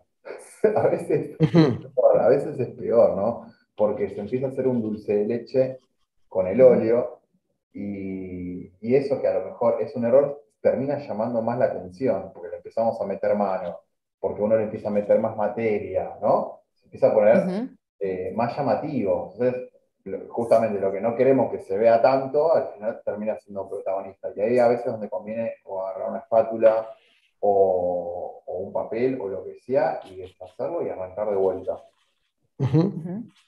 en el óleo, ¿no? Completamente. Quizás el, el acrílico es cubrir, como se aplasta, le mandás un- una capa y ya está, no, No hay mucha historia, ¿no? Pero el óleo tiene un poco esa, esa cosa, o esperar a que se seque, ¿no? Esperar a que se seque, y de última lo agarrás otro día y lo corregís, o, o se Lo organizás, lijas un poquito. claro, Ujú. tal cual. Sí, totalmente. El tema de las cargas, ¿no? Qué bueno que es empezar con una carga más bien delgada para poder Di- corregir. diluida, claro. Y esto de, de atre- de atreverse a empezar de nuevo, que cuesta tanto, eh, te, va- te vas enamorando de algunos segmentos y, ah, desarmar todo, pero es lo que mejor funciona Claro, hay que volver, hay que volver, a veces hay que, y es más el ego, ¿no? Uy, me equivoqué, Mm, uy, está mal. Y bueno, ya está, es, es- es- bienvenido al mundo de, la pintura. Es así, hay que No, y tiene su, su encanto esa, esa lucha que nunca sale, me parece bellísimo. Es, es como yo digo, es un estrés del bueno, ¿no? Es, es un estrés lindo. Es, es como nos decía, ¿te acordás? Ale, hay que sufrir, pero bien. Hay que sufrir bien. Ale hablaba de la batalla. Sí. Primer round, segundo round, tercer round. Cada clase Claro. era un round. Hay que pelear. ¿Estás ¿no? preparada para este round? es como esto que siempre hablamos, ¿viste? Eh, es lindo pintar, es un placer pintar, era el, tema. decir, yo estoy pintando, estoy, uy, qué feliz que estoy, o no, para para Estoy concentrado, ¿no? Estoy muy, muy concentrado. Y el tema es no perder la. Cuando se, se pierde la concentración, ahí, ahí aparecen los problemas, me parece. Entonces, es una actividad de, de, estar enganchado. Y dentro del, del enganche está la cuestión técnica, que a veces, viste, Suena como mal a veces la palabra técnica para, eh, para algunas personas, pero si No, pero es técnico. Pero si vos, por ejemplo, estás pintando al óleo, ¿no? Y estás con el pincel, y el pincel está embarrado de un tono claro, y ya, mm. agarras un tono oscuro y no va a salir. Y si encima sabes que va a pasar eso, y son eh, cuestiones como, como esenciales, ¿no? Dentro de la... De, del oficio. O sea, no, no, no, no puedes. No puedes. Totalmente. Sí, también los tiempos. Esto de ir y volver y hacer pausas. A mí me sirve mucho usar el espejo. Ahora usar la, cámara para ver qué Katsu se está viendo, para ver un poco de, lejos, pararme y, y, ver que uno está a veces también entre la concentración y a su vez la excesiva cercanía que no permite que veas la unidad o todo lo que está pasando. Por ahí te obsesionas mm. con un segmento muy pequeño que, no perturba para nada la unidad y no te estás ocupando de algo que es prioritario. Eh, ahí ayuda mucho también esto de pintar en equipo, pintar con, otras personas, ver la ejecución que, están haciendo, qué cosas que vieron que yo no vi también es muy hermoso de, la docencia y, del compartir momento de pintura. Totalmente, sí. Y correr, ¿no? Porque a veces corremos demasiado y creo que ahí es cuando más, más caros salen los errores. Menos se puede corregir. Eh, acá, claro, en esto, cuando estamos haciendo así un vivo, ay Dios mío, Claro, de alguna manera estás corriendo, no estás tan y lo relajado. se hace lo, que se puede, ¿no? Y, con una con un poquitito de presión, ¿viste? Porque vos decís, bueno, que hay que terminarlo en un determinado tiempo. En cambio, si estás pintando sola o solo, ¿viste? No te importa el tiempo, te se vuelve todo atemporal, ¿no? Lo que vos estabas hablando de las otras veces de lo temporal, ¿no? ¿Yo o Faust? Sí, sí, vos. Agus. Yo, sí. ¿Qué estaba hablando? Hoy, hoy decís. Hoy, hoy fue. Ah, sí, sí. Ah, no sé, no sé a qué te referís. No, en, en, un, vivo, en un vivo que realizaste que hablabas acerca de lo atemporal. Ah, gracias por verlo primero. Muchísimas gracias. Eh, muchas gracias, de verdad. No, te sigo, te em, sigo. Me eh, aparece, me aparece cuando, cuando haces un vivo, todo. De verdad que lo lamento. O sea, lo, lamento el espíritu spam que me, que me acompaña desde mi nacimiento.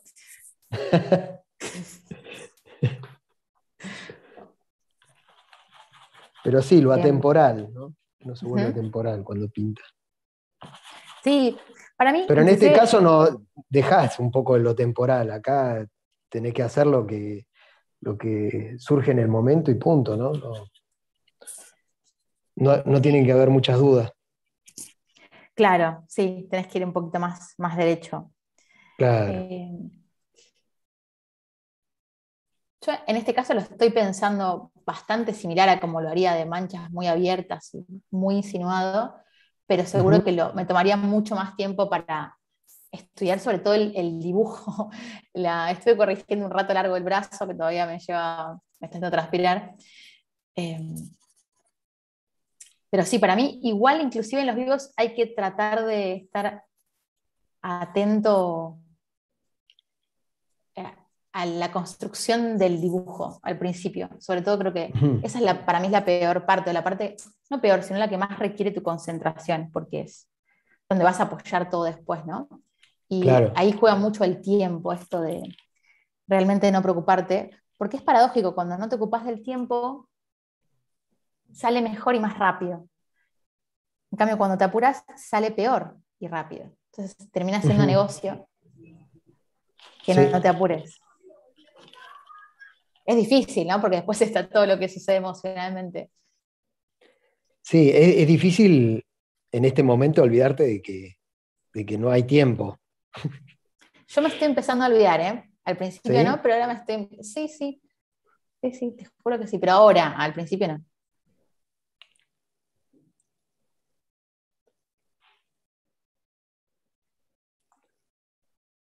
Cualquier cosa te aviso si son las 6 de la mañana. sí, sí, avísame, avísame por si acaso. Yo te despierto. Eh. No, y avísame a mí también, porque yo de golpe, claro, me cuelgo y no, ya me olvido de todo. No, no.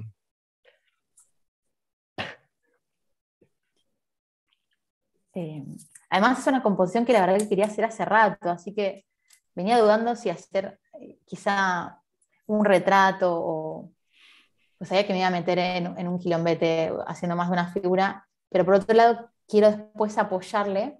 Bueno, una opción es que si hacemos otro, otro segundo round, la seguimos, y otra opción es apoyarle, como venía haciendo, poner a dos modelos a, posarme por separado y, aportarle recursos del natural ah, sobre la primera mancha. Está, está buenísima la experiencia, está buenísima. Había una pregunta, vamos a abrir el chat por si acaso. A ver. ¡Eh, qué cantidad de textos!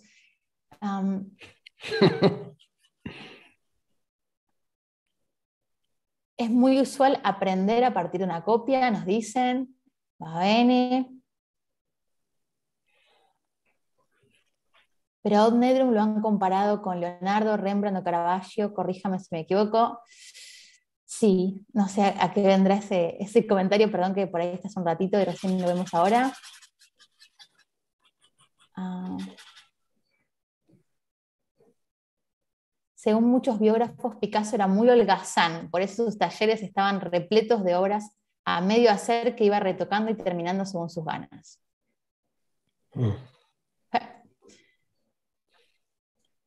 Y Santiago Chamorro, eh, hola Santi, hermoso que estés por ahí del otro lado, nos pregunta, ¿copias o reinterpretaciones? Eso es. Interpretaciones, reinterpretaciones. En este caso, en el mío, por lo menos, es reinterpretar. O buscarle la caricatura. No, lo estoy haciendo con la intención de, de trabajar este, la copia, la copia fiel. No le queremos faltar el respeto a nadie. es más, creo que a mí me resultaría imposible hacer una reproducción de, este, de esta obra, porque primero hay que, como decíamos al principio, habría que tener la obra original, y si no la tenés original, tendrías que tener en alta calidad y, y trabajarlo en las medidas que corresponden y no en una medida tan chiquita como esta, ¿viste? Que estamos trabajando en un tamaño A4. Eh. Son interpretaciones personales de cada uno, ¿no? O sea, como... Es más, le iba a poner en vez de un vasito a la, a la monja, le iba a poner una Coca-Cola o algo así, no sé, algo. O sea, capaz que después me surge eso. Tratar de salir del contexto dramático y buscar una, una alternativa distinta, ¿no? o que el tipo esté, no sé, leyendo un libro, no sé, en vez de estar ahí tomándole el pulso a la muerte. Em, buscar la comicidad quizá, no sé, ya en algún momento puede llegar a surgir eso, ¿no? O no.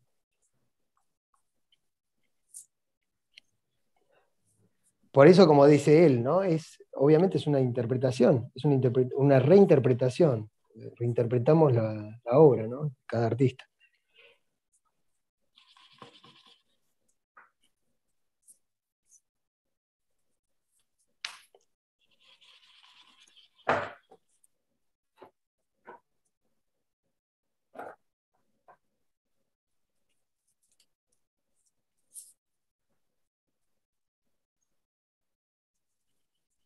Estoy empezando a, cargar un poquito más y a chequear si está más o menos bien el escorzo de la cabeza de ella. que está rotando la cabeza hacia atrás. Y estaba chusmeando también si el ancho de la cabeza de Orfeo está correcto respecto al ancho de sus hombros y si la distancia del brazo hacia el mentón eh, viene bien o es me parece que es un poco más corta, entonces por ahí tengo que bajar la cabeza de ella una pizca. Así que estoy chusmeando un poco esas cuestiones. Yo creo que no estoy reinterpretando aún, sino que arriba de la, de la mancha voy a ir ajustando. Por un lado, me, parece que está bueno pensar, a mí me gusta llamarle distancia entre esta cosa de que todos tenemos naturalmente, generamos una distancia con... Con el modelo. claro, con el referente. Sí. simplemente porque cada uno tiene una experiencia personal, una forma de observación distinta y única, y eso hace que siempre sea distinta que dos personas que hagan la misma copia, bueno, en este caso no estamos haciendo así, pero si fuese así también igual lo haríamos completamente distinto, ¿no? Que es lo que una segunda opción podríamos hacerlo. eh, totalmente. ¿No? Que cada uno lo haga a su manera, está buenísimo.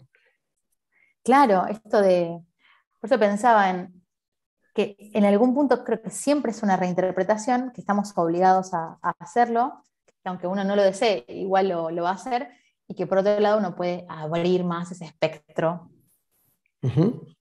de la, del reinterpretar, ¿no? De, del modificar.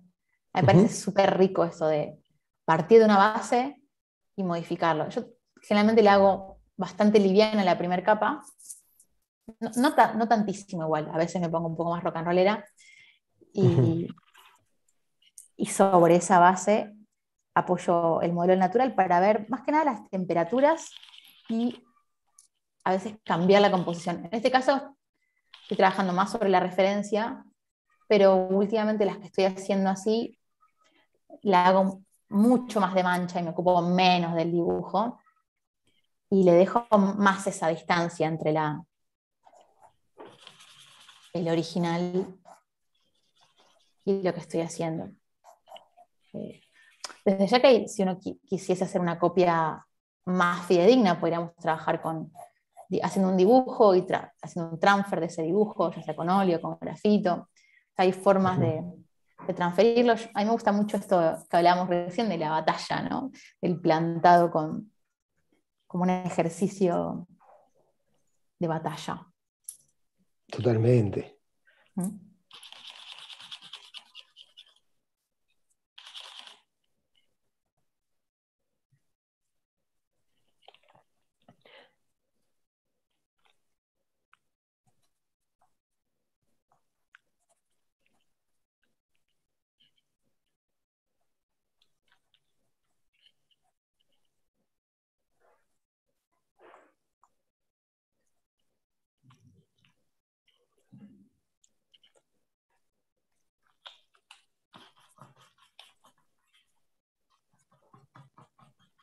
Hola, hola. Una pregunta. Ah, pensé, me asusté, dije. Yo tengo una pregunta para. Igual las personas que están viendo están viendo que se mueven los pinceles, así que estos muchachos están vivos. Em, tengo una pregunta para Julio. ¿Qué dice? ¿Qué te, ¿Qué te, pasa, Julio? eh, ¿Cómo pensás? Esta pregunta además la tengo hace mucho para hacértela, así que qué hermoso que haya aparecido este solemne momento. Ya la, ya la palabra pensás ya me da miedo. ¿En serio? No, no, pienso mucho. A ver, contame. ¿Cómo, ¿Cómo pensás y cómo comenzás una caricatura? ¿Cómo, ¿Cómo pensás los rasgos? ¿Cómo pensás esto tengo que mm. exagerarlo, esto tengo que aplacarlo? También cómo pensás si hay que idealizar un poco para que le guste el cliente, ¿cómo te manejas con eso?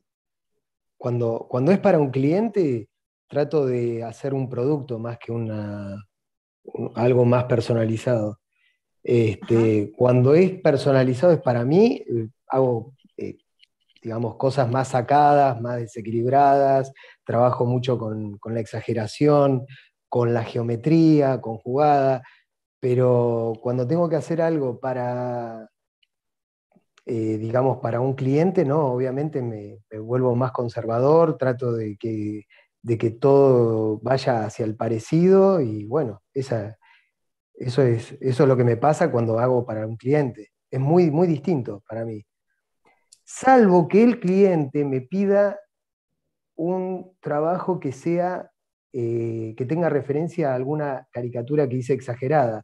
Entonces, ahí sí, pero la mayoría de clientes que trabajo, que justamente son, son gente que, que hace fiestas como cumpleaños de 15, casamiento, quieren verse lindos. Claro, esa es mi pregunta. Claro, ¿viste? O sea, trato de, agarrar y que se parezca la foto eh, y con unas leves exageraciones que, digamos, eh, eso te lo pide la misma foto. me eh, encantó. ¿Cómo te pide la foto? Y, a la vez te lo pide el oficio. O sea, a ver, he dibujado toda mi vida en eventos.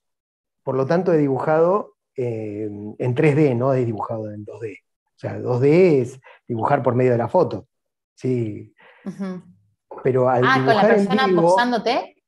Claro, al dibujar en vivo, o sea, es, mucho más el, riesgo. y, en, este momento, o sea, cuando, cuando trabajas en vivo, entendés más lo que es la forma que lo que te puede dar una bidimensión, ¿no? Como, como, como cuando vos haces, eh, eh, cuando vos le marcás, digamos, eh, cómo dibujar un rostro a un alumno, o lo que sea, bueno, pero dibujar en vivo, en caricaturas, en tres minutos, es, una locura.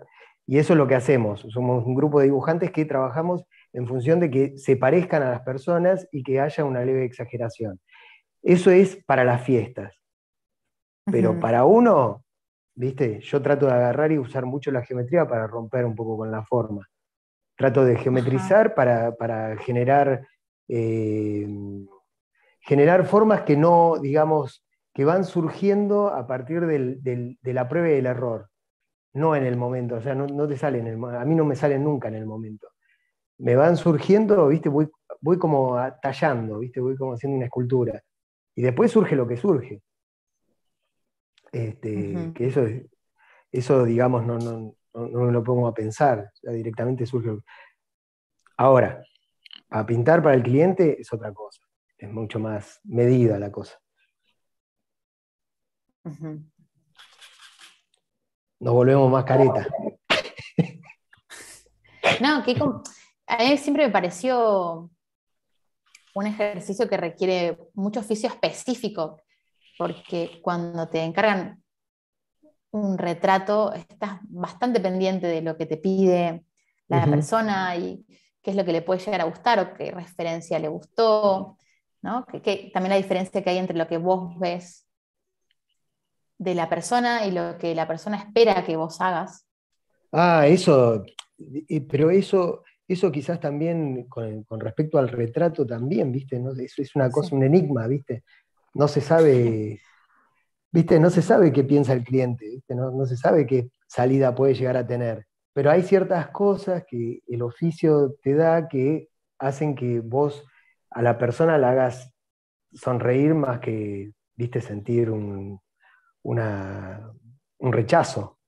Este, o sea, eh, no sé, hay, hay, ciertas cositas, por ejemplo, qué sé yo, capaz que te mandan, te mandan fotos que son cualquier cosa a veces, te mandan fotos que están serios, capaz que le con el oficio le haces una leve sonrisa y ya el tipo está contento, ¿viste? Claro. Por ahí es una cosa súper chiquita. O, capaz que al contrario, capaz que le haces una sonrisa y te dice, pero si yo soy serio, y ahí ya entramos en... Claro. O te mandan fotos, cualquier cosa, te mandan una foto que están, viste, salieron de, la ducha hace dos minutos, o salieron de la playa, están en la playa y están con los ojos entornados y con el pelo mojado, y, tenés que lidiar con eso, entonces tenés que agarrar y decirle, no, mira, mandame una foto que sea así, asá, que tenga esta... Y bueno, es así, o sea, es como que tenés que luchar en ese momento para conseguir que, los clientes te, te, hagan lo que, vos, lo que vos querés, no lo que ellos quieren. Porque te pueden mandar cualquier foto y te dicen hacela. Y vos le decís, dale, te la hago. Y después el cliente no va a estar satisfecho, ¿por qué? Porque vos le dijiste sí a una foto que realmente no, estaba bien iluminada, no estaba, eh, digamos, el tipo estaba mirando para arriba, no sé. Eh, ¿Te pasa mucho eso? Decís que las referencias no son... Sí, pasa. Pasa porque la gente, a veces, a veces, viste, uno tiene que ser más, ponerse del lado del cliente, porque eh, uno constantemente está trabajando con esto. Entonces, si le haces algo, más vale que, el tipo, eh, cada cuánto hace una caricatura. Nunca. Entonces, te habla con un lenguaje como que, o sea, te manda una foto cualquiera, ¿viste? Te, manda una foto del carnet y decís, eh", o, una foto que está, no sé, con, con 20 personas, ¿viste? Y de golpe cuando entras a acercarlo está todo pixelado. Y eso, eso surge también. O esa foto que te dicen, mira, yo tengo esta foto, pero me gustaría que más con mi abuelo. Y te dan otra foto. Ay, Dios. ¿A vos te pasó? ¿Te pasó en cosas así? Sí, me ha pasado, sí. Ah. sí. Dice, bueno, es otro precio. y, pero sí. Es difícil lidiar con clientes. ¿Vos, Agus, trabajás así con clientes, así que te piden cosas? no lo hago con mucha frecuencia mm. de hacer eh, encargos o, y las ¿Pero porque no te, interesa? Porque no surgen. Que la, no, sí surgen, pero siento que la docencia me emancipa. Tenés razón, sí. Que, puedo pintar lo que tengo ganas eh, ah. constantemente. Me gusta, en algunos casos tuve mucho prejuicio y después resultó la experiencia fascinante. ¿sí? Que me hacían un encargo y yo ya presuponía ah, que no sé si le iba a gustar, que no se iba a funcionar bien, que... Eh, ah, te ponías a pensar en, el después. Claro, exacto. Mm. Eh, y después me ha pasado que, después de hacer algunos, que empecé a entender por dónde, qué es lo que querían las, las personas que te piden un, retrato. Eh, y también tus experiencias. Eh, me pasó, por ejemplo, con una persona de Estados Unidos que encargó dos, retratos completamente distintos y me pide si yo le podía mandar fotos del proceso. Y yo pensé, ay, pero si yo te mando fotos del proceso, va a aparecer una catarata. ¿Estás bien, Fausto? Mm. Sí, claro. ¿Cómo? No, no dije nada, pasa que quiero, eh, me dan ganas de acotar, pero esto se corta. Ah, acotá, acotá. Eh, no, eso, eso, seguí contando vos, ahí, digo. Mm. Yo presupuse que iban a aparecer una catarata de, ay, esto más abajo, esto más arriba, esto más grande, esto más chico, esto me gusta, esto no. Y al mm. contrario, me pasó que el feedback fue hermoso. Y no digo que no puedan aparecer devoluciones, ¿eh? solo me refería a, esto de que a veces pasa de que no saben qué quieren, me pasa con las productoras, más que nada, más que con los clientes particulares. Ah, contá, ¿qué, es eso de las productoras? No, por ahí, yo antes trabajaba en Disney Channel. Sí, sí, me acuerdo de eso que vos habías contado. ¿Y?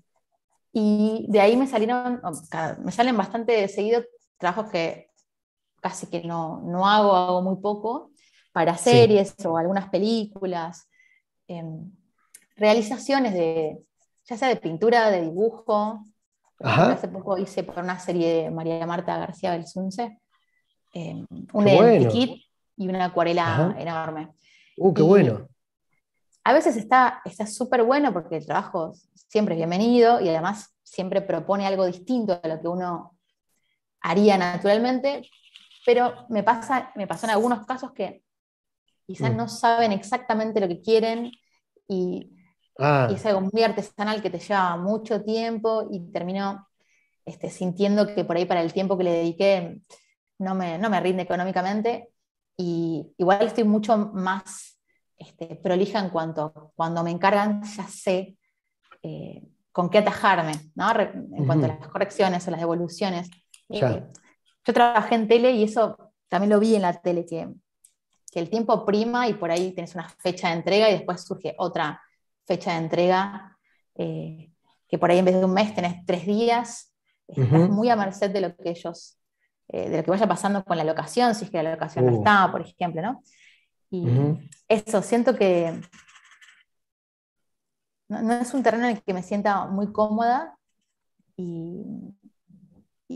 pero sobre todo esto te digo, también es, un poco prejuicio y otro poco de la experiencia que tuve, sobre todo. No, te sentís, quizás te sentís más cómoda haciendo tus pinturas y vendiendo tus pinturas que este, haciendo encargos, digamos, como por medio de fotos o lo que sea. Claro, me gusta, eh, ojo, por ejemplo, me gusta muchísimo hacer retratos, me encanta. En grafito, en carbonilla, en óleo. Eh. Pero, eh, bueno, depende muchísimo el cliente, como todo. Depende mucho de la persona. Si, ya, generalmente ya saben lo que, lo que haces, si le gusta, y si haces algo más o menos similar a lo que haces, le va a gustar. Este, pero tenés que tener muy en cuenta el, deseo del otro. y uh, por otro lado, tengo todo el tiempo ese espíritu un poco trágico de que... De que no le guste. No, no, no, no, más trágico, más trágico. De que, de que te, amenace de muerte. Porque le hiciste la nariz grande. No, no, no, no. De, a mí yo ya hubiese sido crucificado. de que tengo que cuidar mucho mi tiempo porque es finito. ¿Viste? Como siempre me ah, recuerdo de nuevas cosas que, te, que no te gusten hacer o que no quieres hacer o que sientas que, entiendo, entiendo. no valoran porque tu tiempo es finito. Lo tengo, trato de tenerlo muy presente. Muy bueno, eso sí. Pero eh, a mí me causa mucha admiración, Julio. Vos trabajás mucho con encargo. Eh, claro, de eso vivo, pero porque lo vengo haciendo desde hace, hace muchos años. Eh, pero tuve que lidiar con, el no me gusta o lo que sea hasta que, hasta que empezó a gustar, pero, pero tuve frustraciones como todos, o sea, no, y digamos, eso no me hacía eh, bajar la guardia, sino siempre continuar y mejorar y tratar de ver a ver hasta qué punto, eh, digamos, no era o era parecido o lo que sea. Este, también a veces el problema, como te decía, el problema a veces es del cliente de agarrar y mandarte malas fotos. O sea, eh, eso, eso, eso, eso pasa. Y es una constante eso. Entonces que tenés que explicarle o te dice, eh, ¿me podés hacer un portarretrato? ¿Cómo un portarretrato? Y quiere decir, eso quiere decir traducido, quiere decir o una caricatura o un retrato pero te dicen portarretrato. Entonces, ya sabes más o menos dónde cada. No, conocía el término portarretrato, es una genialidad que me estás regalando. sí, sí, pero no sé que, había esta confusión. Sería, mucho más, sería mucho más, más fácil si hago un portarretrato y se lo doy a tener que hacerle un retrato, una caricatura. Pero le dicen portarretrato al retrato. O sea, es, eh, o sea el lenguaje, digamos, que uno, uno tiene, ya lo, lo tiene como incorporado. Lo que pasa es que la gente, la gente común no, no lo, digamos, no lo tiene presente. Entonces te dicen, ¿me haces un caricaturoro o un caricatarara? O, y decís, no, ¿qué? ¿Cómo? Sí, si me puedes eh, hacer un caricaturoro. Y yo digo, no, caricatura. Ah, caricatura. es así, o sea, la gente te, me, ha, pasado, pero millones de cosas. cuando vas a la ferretería, ¿viste? dame el cosito ese que. el, baño, el coso. Ahí está, ese soy yo. Lo que decís vos, ese soy yo. O sea, ese es el tema. O sea, cada uno con su puestito, ¿viste? Yo no, soy re bruto en eso, ¿viste? Voy a un lugar y digo, ¿me das el cosito que se coloca el Es así, cada uno con su, ¿No? Es, es así. Sí, sí, sí, sí, sí. ¿Qué pasa cuando te dicen eh, qué bueno se parece una foto? Mm. Ah, es. Qué lindo tema. No me ha pasado, porque nunca se parece. ¿A vos, te pasó? Sí, sí. Em, entiendo que es producto de lo que está contando Julio, de que con la mejor intención te pueden decir, parece una foto eh, y vos sentís una puñalada, ¿no? Pero capaz que, capaz que lo quiere decir de otra manera, ¿no? por supuesto. Por eso, claro. Es como un. Halago. Es un halago. Sí, es que es un halago. Totalmente. Está buenísimo lo que está diciendo también este, Fauci. Lo que están diciendo ambos. Porque entender el lenguaje con el que te habla la otra persona, ¿no? Mm. claro. Es difícil, es difícil, ¿viste? O sea, uno está empapado, ¿viste? Está siempre todo el día hablando de, Picasso, de esto, de lo otro, pero de, golpe la gente común no, ¿viste? Tiene otras, otros pensamientos, otra, otra cabeza, está la, cabeza puesta en otro lado, ¿no? No sé.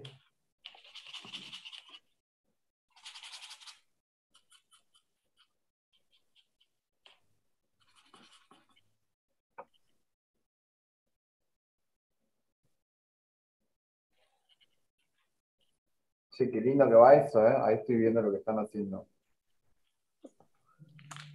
Hey, muchas gracias. Yo no puedo ver nada porque tengo la, cabeza debajo de la cámara.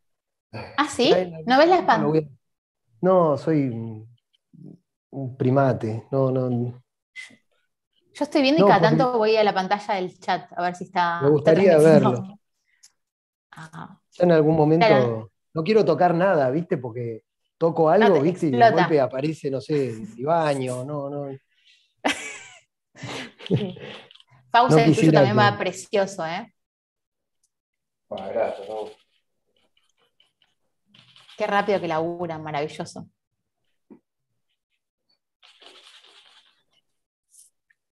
Qué bueno, qué bueno que.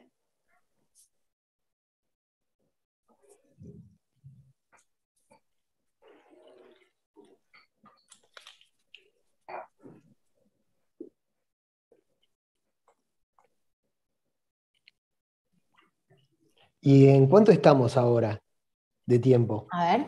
Ya son las nueve más o menos. son las seis menos diez. Y empezamos. De la mañana. ¿Empezamos a las cuatro? Alto viaje. Empezamos a, las cuatro, a cuatro y pico. Sí, claro, exacto, cuatro y pico. Ah, estamos bien. Ya Admiro las caricaturas de Julio y de Marcelo Guerra, dice. Nos dice Jorge. Ah, bueno, gracias. Gracias, me, alegra mucho. y después, eh, Viuso Art, ojalá que esté leyendo bien tu nombre, si no me puedes decir. Y bueno, también los materiales son distintos. Siempre son interpretaciones o fieles o contextualizadas, como dice Julio. Recomiendo el video de César, supongo que debe ser César Córdoba, sobre la entrevista con Luis Borrero. Fenómeno, gracias por la recomendación. Mm, maravilloso, nos dice Marco. Eh, muchísimas gracias.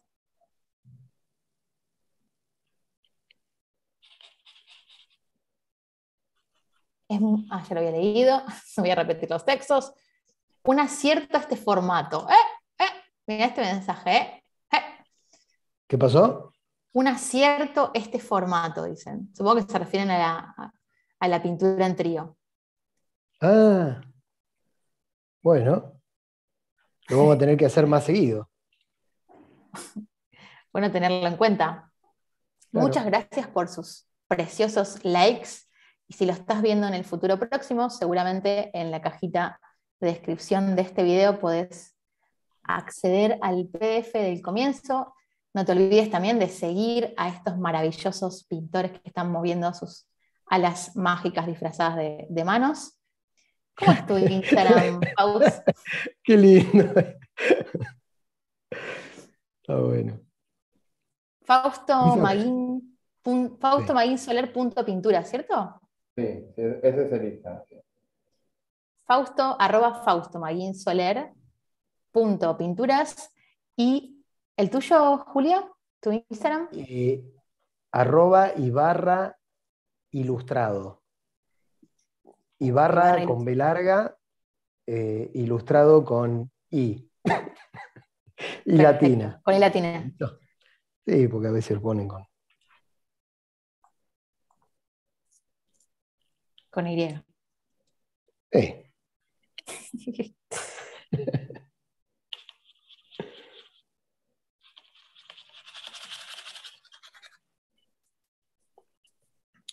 Ah, vamos a tirar un poquito de.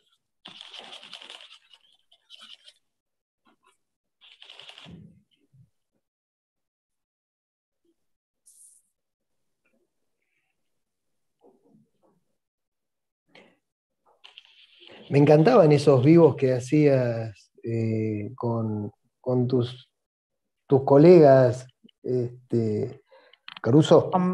Sí, con- no te vamos a abandonar, Julia, no te preocupes. No, yo digo, yo hablo por las dudas, ¿viste? ¿Dónde está? Me, No, me asusta, al- me asusta que no. Es muy atinado que, que hagas eso porque debe ser extraño estar viendo un vivo y que nadie esté hablando. Claro. Está, está muy bien, es muy inteligente. No, me desespero. Pero queda tranquilo que estamos, que está todo funcionando. Nada debería explotar. No, esperemos que no. Los videos que hacía con Valen, antes eh, trabajaba más en, en Instagram. Ah, De hecho, algunos vivos quedaron guardados en, en la solapita de, de vivos de IGTVs con, con Valentina y ella iba pintando y yo iba charlando. A mí me gusta mucho el formato de una persona charlando y otra, y otra persona pintando porque me parece que permite que uno esté bien concentrado en la pintura y el otro esté concentrado en... En su, en En la- su obra, claro. No, no, no, uno, uno explicando Sí, sí, qué es sí. lo que se va haciendo como procedimiento y la otra persona pintando. Siento que Bueno, nos ha pasado, ¿no? Esto de los silencios, que hay momentos donde te querés concentrar y cuesta más eh, hablar y pintar con cierta lógica. Me parece que es re lindo ese formato de, de dos personas. Me parece mucho más rico, ¿no? Que a veces por ahí un vivo, uno solo. eh, yo me siento muy sola en un vivo, sola pintando. Eh, ujú. como que me cuesta más. Y hay algo del espectáculo, ¿no? También en los vivos. Creo que algo habías dicho hace un ratito.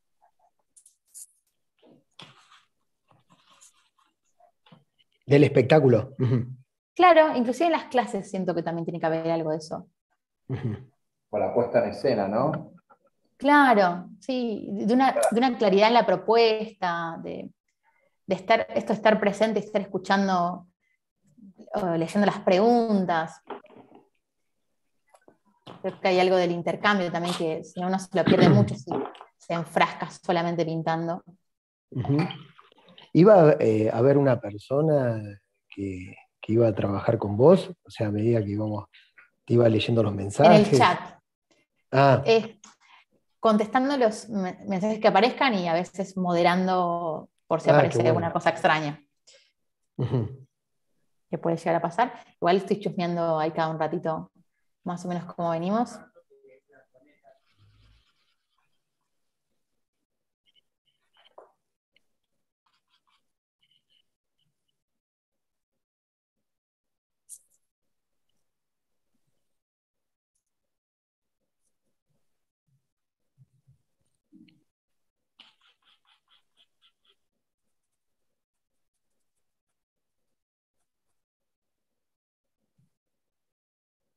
Vos, Julio, eh, no pintás en caballete, ¿no? O solamente hacer- No, no, eh, sí, eh, pinturas grandes sí, tengo la obligación de hacerlo en, en- en caballete, pero si no, todo es en mi mesa, por eso está así, mi mesa, toda sucia.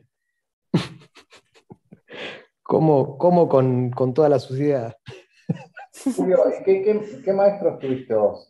Que, o sea, ¿vos estudiaste en, talleres particulares o hiciste solamente el Bellas Artes? Eh, primero, primero de- cuando era muy chico, estudié con, con un tío mío este, que se dedicaba a hacer exposiciones y tenía muchos alumnos y qué sé yo, y empecé a los ocho años ahí. Después este, me meto en la escuela de cerámica, me meto en la escuela de cerámica y empiezo a hacer, empiezo con el oficio del ceramista, a vender cerámicas. Después como no vendía, me, meto en estímulo de bellas artes y ya tenía ahí no sé cuánto, 16, 17 años. Eh, en estímulo, después me, recomiendan la Manuel Belgrano y ahí me recibo de maestro en la Manuel Belgrano. Después hago parte de la Puerredón eh, y después conozco a un, pibe que me, recomienda la Escuela Garaycochea, que tenía varios tipos de oficio, de historieta, de caricatura, de ilustración, y ahí me meto en la escuela de, caricaturas a, tener a un profe que, admiro mucho, que se llama Jorge de los Ríos. Este, eh, y bueno, y ahí terminé este, la, escuela Garecochea, hice nada más medio año, nada más.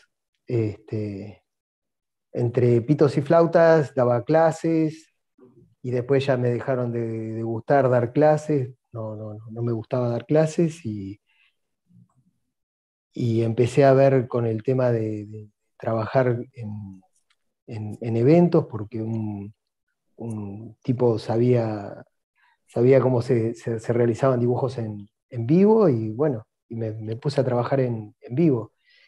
Y ahí, no sé qué año fue, 94 más o menos. Este, así que bueno, eso. Poquito. Eso, esos son los estudios. y vos dibujás, ¿no? No, no te escucho bien. Vos dibujás. No había escuchado nada, me había hecho la pregunta. claro. ¿Pero vos qué haces?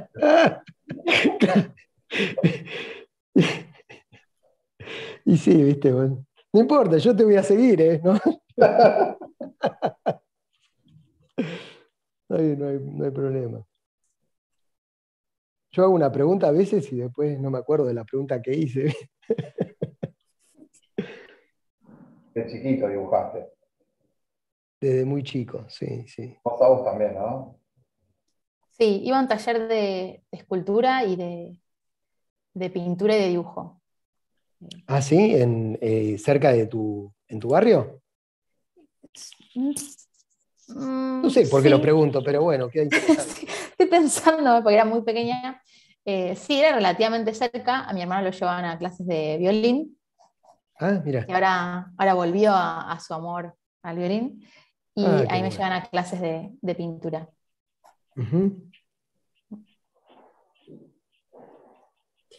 Y sí, mi abuelo era pintor, calculo que tiene que ver también con esto de que me guste la, pintura. Si bien no tenía mucha relación con mi abuelo, me acuerdo que le hacía regalos de pequeñas esculturitas y dibujos, ¿viste? Y él les daba un valor especial, creo que noté eso también, que, a mi abuelo le parecían importantes.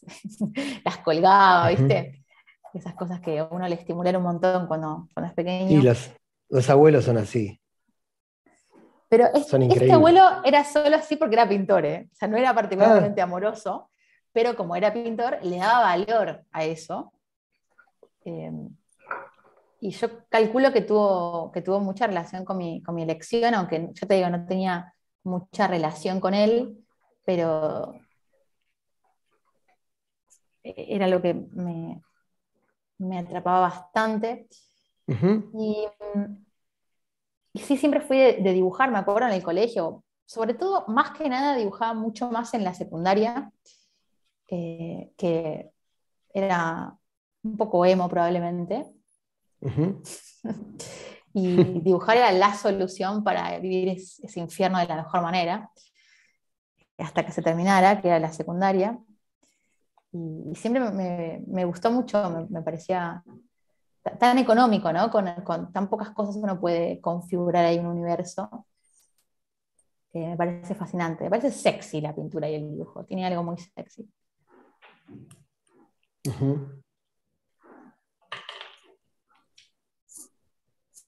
Y respecto a la, formación, fui al IUNA varios años, hice eh, la licenciatura y, sobre todo, digamos, sobre todo la licenciatura y un par de años del profesorado. Y después me empezó a pasar que sentí que me faltaba mucho práctica de oficio y que ahí no encontraba cátedras que, algunas sí, algunas eran excepcionales, me acuerdo de grabado, arte impreso, eh, la cátedra de dibujo, una cátedra de pintura, pero todas las demás me parecían que, que, que, no veías lo que tenías que ver, que era oficio y técnica, o sea, OTAB, oficio y técnica de eh, dibujo, pintura, escultura. Ahí descubrí en el Yuna grabado y descubrí em, cerámica, que me gustó mucho también, que no, no había hecho nunca. Y en grabado me pasaron una clase que el, el profesor Ah, creía que ibas a decir otra cosa.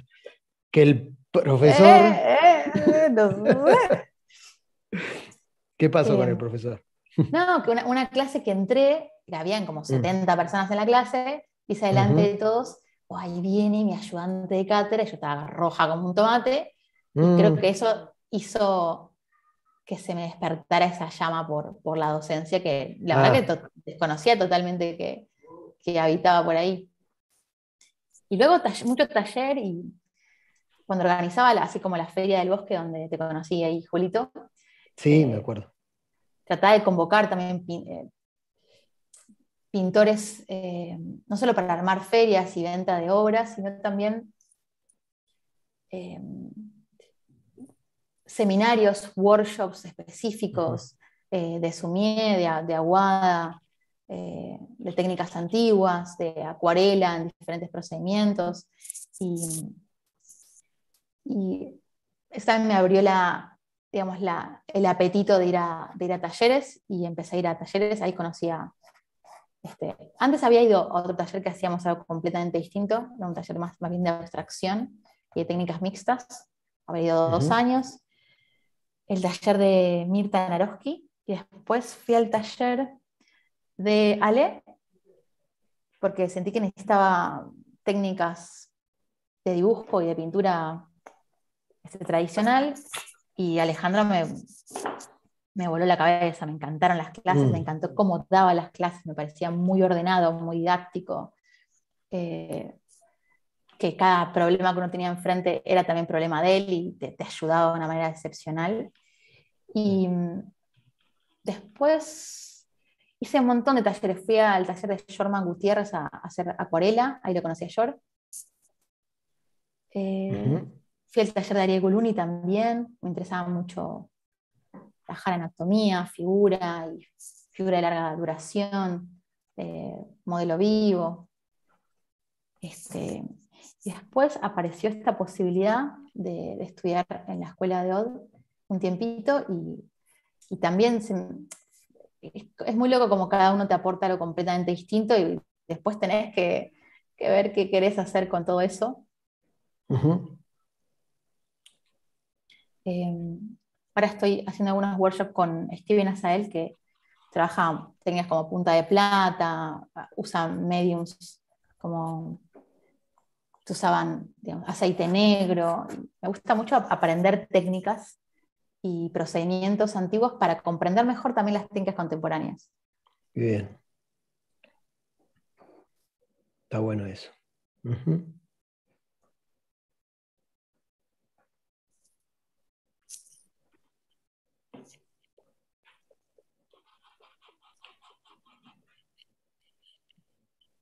Sí, es, tan infinito, ¿no? Y tan difícil elegir qué es lo que uno quiere hacer, cómo uno lo quiere hacer. Este... Buenísimo. Mm.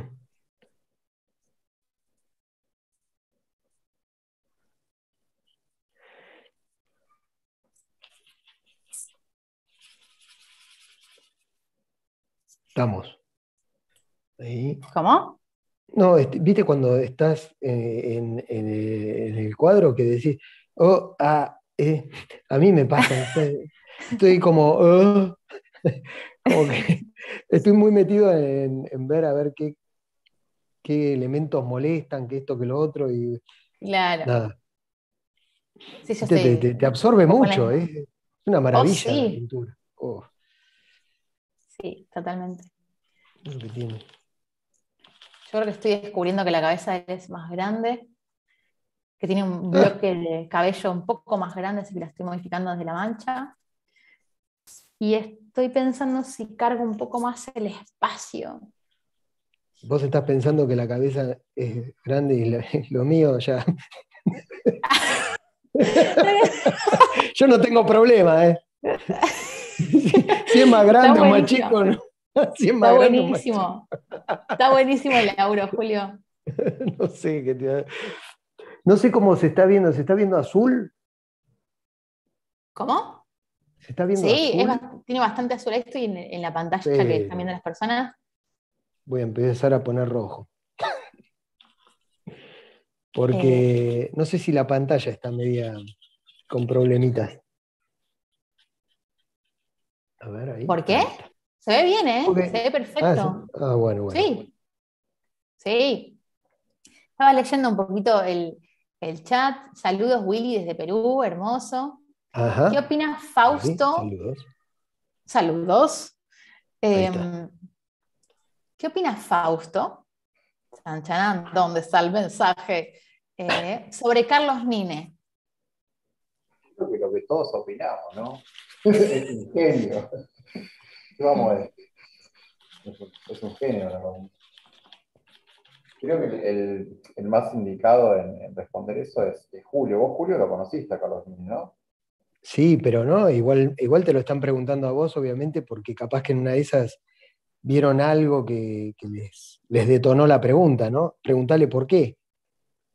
¿Por qué te lo preguntan? Porque capaz que en una de esas, viste que hay, hay veces que, o sea, yo, por ejemplo, eh, el tema de mis dibujos o lo que sea, ¿viste? Son como demasiado heterodoxos, o sea, me meto en una cosa, en otra, pero capaz que en una de esas lo dice por alguna, alguna razón, o sea, capaz que le, vio algo en vos, en alguna en algún dibujo, lo que sea, que quizás eh, de todo. yo, por ejemplo, también pasé por situaciones de parecidos a Nine, a esto, lo otro, pero porque es como, es como que son nuestros referentes. ¿No? O sea, en cuanto a, la ilustración. Pero no sé, capaz que lo, pregunta por, un, lado, no sé. ¿Por qué lo preguntó? Nos puede, nos puede, estoy ahí chusmeando también, nos puede volver a preguntar. Claro. Sí. Marina me pregunta. Sí, nos puede, nos puede contar, lo vamos escuchando, quizá tardamos un poquito en leerlo, pero lo vamos viendo. Eh, saludos desde España, Cecilio, gracias por estar aquí. Marina dice, ¿sobre qué modelo estás trabajando, Agustina? Estoy trabajando sobre una pintura de Frederick em, Watts, que es una de las versiones que hace de Orfeo y Eurídice, una de las ocho versiones que tiene.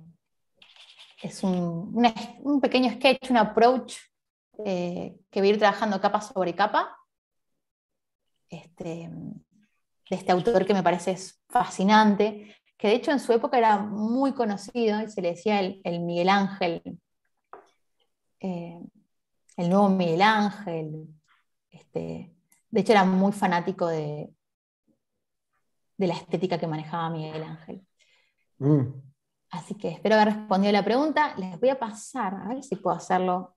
Estoy un poquito apretada, pero voy a intentar pasar el link con el PDF.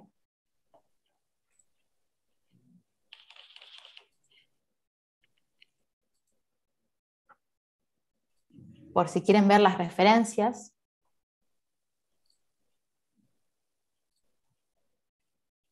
Ah, genial, fenómeno. Ahí la vemos. Ahí va.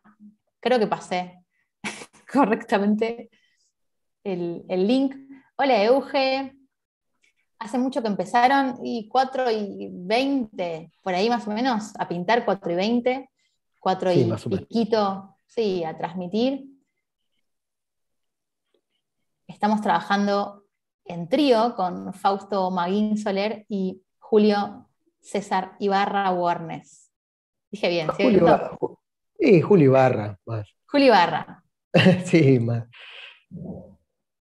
Y me da curiosidad ese comentario de Art Deu de, respecto a Nedrum, si lo han comparado con Leonardo, Rembrandt, Caravaggio, sí. No sé a qué venía el comentario, puedes eh, explayarte más en el, en el chat y te podemos contestar. Fenómeno que llegó bien, Marina, muchísimas gracias. Claro, vos tenías un... Eh, vos, Julio, tenés, tenés un original de Nine. Todos Tengo- mis celos. Tengo dos, dos originales. ¿En serio? Oh, Sí, sí. Los dos los compré. Uno lo compré en una subasta y otro lo compré este, en una galería. Eh, sí, sí, admiro En una profundamente. subasta. Sí, qué bien. se hacía una subasta por la Asociación de Dibujantes Argentinos, la ADA, en la cual estaba yo, eh, pero hace 500 millones de años, y, y- y era un original de, de Nine, que era una, una tapa, pero era un boceto de tapa, un boceto de tapa de libro.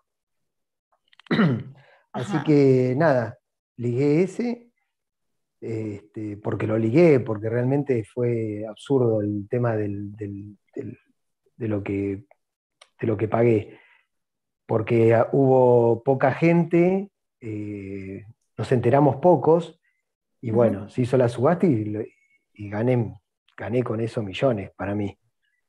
Este, y después la otra fue en una galería que estaba exponiendo Nine y bueno, lo compré. Ah, qué bien. Qué bien. Ese, ese es el que te gusta, el, el dibujo en pastel. De la, Claro, yo lo vi, lo vi en tu casa. Sí, sí. es hermosura. alucinante. Muy lindo, muy lindo. Este, nada, son, son un poco los, los referentes que, que tenemos todos los ilustradores. O sea, no podés dejar de. O sea, no podés hacer ilustración si no viste a Nine, no sé. Y después cuando, cuando copiaste mucho a Nine, después tenés que sacártelo de encima, porque es, un- es todo un peso. Porque Nine es muy influenciable en todo lo que hace.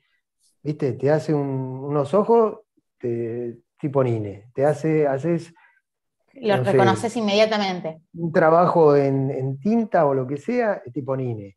¿Viste? O sea, tenía un- una, una gracia el tipo en la línea, en- cuando trabajaba con, con pluma o, o trabajaba en los pasteles, que lo que, lo que hacía Nine era combinar el tema de, de la- de lo, de lo plástico y lo gráfico. Entonces, Claro. eh, era perfecto para Una un... sensibilidad, una línea continua preciosa. Perfecta, sí, sí, sí. Pero suelta, pero suelta. Entonces, Claro. viste, decía, pero ¿cómo el tipo te hace algo perfecto y suelto a la vez? Eso es lo que tenía, viste, Nine, que tenía esa, esa cosa de decir, el tipo no se, no se equivoca y te lo hace suelto. Eh, una maravilla, Nine. ¿no? Es- La verdad que como ilustrador después, bueno, está también Casioli, que hacía también las tapas de la revista Humor, que también era buenísimo. Ese también he comprado obras. Me, me encanta, me encanta Casioli. Pero las compro porque soy un Qué, qué lindo eso de fanático ellos. comprar. Sí, ahora no, ahora no puedo comprar nada, pero en su momento, digamos, em, pude, pude adquirir eso, pude comprarlo y soy el tipo más feliz del mundo. O sea, son como, qué sé yo, tipo que Tesoros. fanático de los discos. Mi papá era fanático de los discos y compraba todos los discos y lo último de los discos. Y, y bueno, este, cada uno tiene su, su fetiche, ¿no?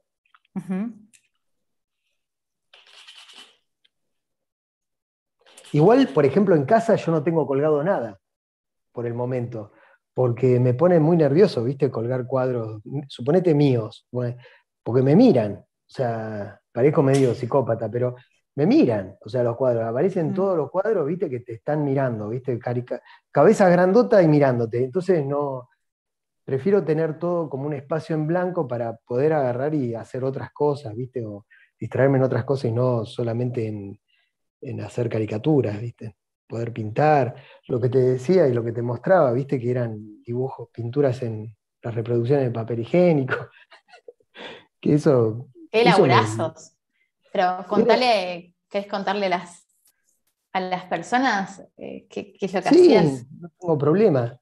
Eh, nada, me, en el momento de pandemia, el momento que la pasamos peor, este, porque sigue la pandemia. Eh, la cosa es que, nada, quería, quería realizar trabajos que, tengan, que sean reproducciones, reproducciones de grandes artistas. Y me puse a trabajar con, con, rollos de papel higiénico, primero por el tamaño que es muy chiquito, y, era un desafío pintar obras maestras en, entonces, bueno, eh, acá le mostré a Agus algunos, por ejemplo, acá. Ah, sí. Papel higiénico. El laburazo. Papel higiénico y del bueno. acá un Norman Rockwell. Espérate que voy a poner un blanco para que se contraste. Un Norman Rockwell. Después, acá una obra de, del pintor eh, Edgar, eh, Edgar de Gas, que se llama El Mercado de Algodón o algo así. Todo pintado. Bueno, hice, hice cerca de 50 más o menos, 50 obras eh, de Vermeer. la idea fue que, justamente estaba aislado y todo, y decía, bueno, vamos a, pintar con cosas que, que, que nadie pinta, ¿viste? O sea, que no es común pintar o ser reproducciones en, este tipo de material. Eh, pero como, como, como, decía Nine, decía, yo cuando, cuando pinto con hojas malas, me siento menos culpable, entonces tengo más soltura. Y es verdad eso. O sea, no sé si, si les pasa, viste, que, pintás con hojas malas y, viste, te sale un dibujo eh, hermoso, viste. Pintás con hojas buenas y te sentís culpable, viste, y no sabés si manchar, no manchar, viste. y de golpe cuando manchás mal, ¡ay! ¿no? Y te sale todo como el, viste, como la mona. Entonces ahí eh, eh, es, es, viste, encontrarle la vuelta con, con, materiales que, que, están a mano, viste. Un papel higiénico siempre está a mano. Entonces, de eso, bueno, después un amigo... y también de probar, ¿no? De probar, de experimentar. Sí, un amigo pintor también me dio unos tubos que medían ya de 50 centímetros y me puse a, mí un poquito de pena que no vayan a durar. Eh, no, van a durar, van a durar. Eh, si, uno las, no sé, las pone en un frasco de vidrio o alguna cosa así, que va a durar, va a durar. Eh, pienso que sí, no sé. Ya te, lo digo dentro de 10 años. te cuento dentro de 10 años si, duraron. Pero también después, después dije, quiero algo más grande, ¿viste? Estaba en, ambicioso, digo, basta de papel higiénico, quiero algo más grande. Y eh, agarré los rollos de cocina. Entonces, los rollos de cocina, espérate, ahí traigo. Sí.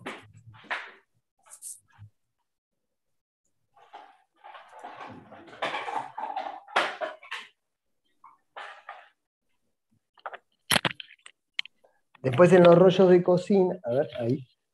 En los rollos de cocina también me pasó lo mismo, pero, ¿ve? Por ejemplo, había hecho a mm. Ingres, eh, Lucian Freud, Freud. Velázquez, el Cristo. Bueno, y así un montón, un montón hice que me, parecía, digamos, un desafío divertido y no me sentía culpable por el material porque, bueno, si, si no, funcionaba, este, conseguía otro, otro papel higiénico y listo. Qué la Acá te están diciendo, Julio, mm. Ah, qué preciosura esos rollos de papel. Saludos grandes a los tres excelentes artistas y maestros. Pone Oh, Emiliano. Gracias, Emiliano. Eh, bueno, qué buena onda, qué buena onda. Sí, fueron locuras de, de ese momento. Después ya maduré.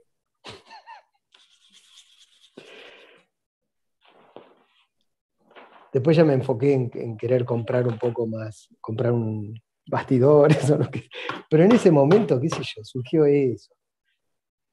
Después te ponen eh, totalmente lo de las hojas, creí que nos pasaba solo a los principiantes, nos pone Marina.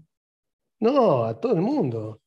A todo el mundo no pasa, porque es lógico, es. Es, es como que no, no, no te lanzás, viste, naturalmente, sino que te lanzás con culpa. Tiene que, ver, a ver, eh, tiene que ver también dónde vivimos, Julio, porque es caro también todo lo que es materiales de arte, ¿viste? Totalmente, sí, sí, sí. Entonces, como, qué sé yo, capaz que en otro lugar del mundo comprar una acuarela es algo más accesible, pero acá, no sé, trabajar con un buen material, que vos decís, que te va a garantizar, que sé yo, un buen pigmento o un buen papel, eh, sale fortuna, es, es caro, la, la verdad, la, Es caro. la actividad que tenemos nosotros es cara, entonces como, bueno, voy a usar una, qué sé yo, un óleos de Winsor Newton, ponele. Los óleos de Mm. Winsor Newton para nosotros son carísimos, es que es realmente un material muy caro, ni hablar, qué sé yo, yo ahora estoy usando el Medium Liquid, es muy caro, entonces te da un poco de cosa, quizás al principio más, no sé, bueno, quiero practicar, quiero hacer esto, entonces como que, bueno, la- la- me fue mal, y, y derroché un montón de dinero, ¿viste? Pero bueno, también hay, también hay otra cosa que cuando uno trabaja con buenos materiales, los resultados son un poco más, no sé si los resultados, pero creo que el proceso es un poco más amigable, ¿no? Es un poco más amistoso, quizás, me parece. Ujú. Sí. Eh, pero nada, nosotros, por lo menos acá en Argentina, las cosas están muy caras. Sí, salvo, salvo que, viste, tengas la suerte de tener un sponsor con alguna Claro, firma como Rembrandt o, viste, Rembrandt me refiero a la, a la- a la marca, ¿no? O Winsor y Newton, viste, pero es como que, como decís vos, ¿no? Es, es hiper complicado eso, no sé. es- acá es complicado. Y, Ujú, Bueno, uno también se las trata como de rebuscar de alguna manera, qué sé yo. Yo, por ejemplo, trabajo mucho con, con los óleos de Winsor Newton, que me Sí. encantan, pero también uso, quizás en las primeras capas, no sé, trabajo con Alba, que es un, Mm. que es una marca muy buena acá en Argentina, eh, pero trabajo quizás en las primeras, y en las últimas quizás meto el, óleo que tiene más pigmento y más, como voy viendo, ¿viste? Eh, pero es, es caro, la verdad que es caro. Totalmente. ¿Y vos, Agus, con qué trabajas? ¿Con qué material? Últimamente trabajo con, con Alba y con eh, Winsor and Newton. Hace un tiempito empecé a, a invertir en, en óleos de Winsor and Newton y un poco lo que dice Faust, a veces planto con, con Alba y arriba trabajo con Winsor, o trabajo mucho con, últimamente mucho con Alba porque me gustó la viscosidad que tiene. Tiene bastante aceite y uso el, la- el aceite que tiene el óleo como el medium. Ah, mirá. Bien. Eh, casi que no le agrego, digamos. Eh, O sea que yo, o sea que yo soy el peor, ¿no? Uso Eterna. Mirá, es eterno. Eterna, viste, esperemos que dure algo. Pero no sé, son, Sí, son sí, eterna pigmentos. Tiene buenos colores tema. Eh, los acrílicos son muy buenos. ¿Viste? Sí. O sea, ¿sabes lo que tiene el Eterna, por ejemplo, con acrílico? Es como que ya viene diluido, ¿viste? No, no es tan pastoso como el alba. El alba, ¿viste? Es un material, ¿viste? Más, más, más potente, pero el, el Eterna es como más diluido, entonces te permite dar más capas, equivocarte más. Pero en el otro tenés que ir seguro, ¿viste? Porque te, es un... Esto, esto es, es la posta, esto es la posta. El alba. A mí me parece que siempre que uno pueda hay que tratar de hacer buenas inversiones, sobre todo en la acuarela que tanto depende de la factura. Una acuarela, la misma acuarela hecha en un buen papel siempre se ve mucho más saturado el color, perdura la saturación, te permite corrección de capas.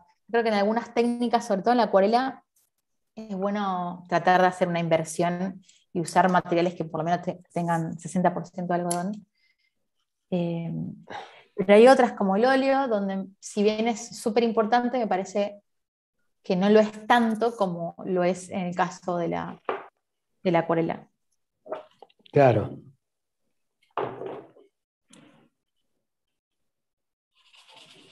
Sí, no, es importante el material que sea, digamos, perdurable y todo. Y que sea este, cubritivo, ¿no? Porque si uno, por ejemplo, pinta una acuarela con los golds circulares, los escolares, uno tiende a frustrarse mucho porque piensa que, el rey de todos los males es uno, ¿no? O sea, que no,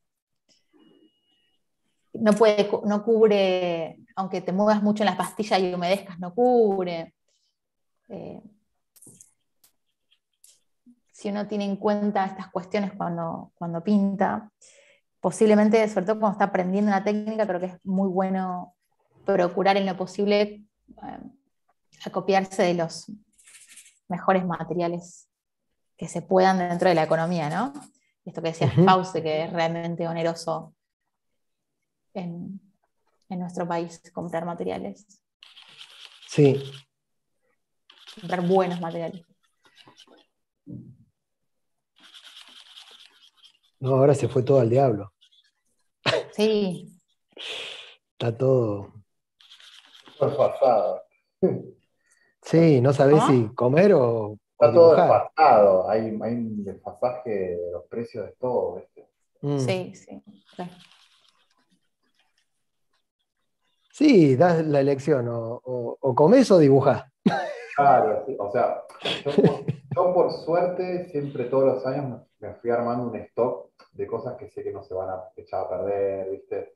Como, mm. como, hacía la, eh, como hacía mi abuela, ¿viste? O las abuelas de antes que siempre tenían dos botellas de aceite, mm. ¿no? Era un poco esa, esa, esa, cosa medio de la guerra. Y también de cosas que a lo mejor pienso que acá no van a llegar por un tema de, no sé, de, de exportaciones, ¿viste? El tema de la que entra, que sale, bueno, hay algo, qué sé yo, me acuerdo, ¿no? De, ese documental de Lucian Freud que habían, habían sacado de circulación un óleo, creo que fue el blanco, mm. ¿no? Sí.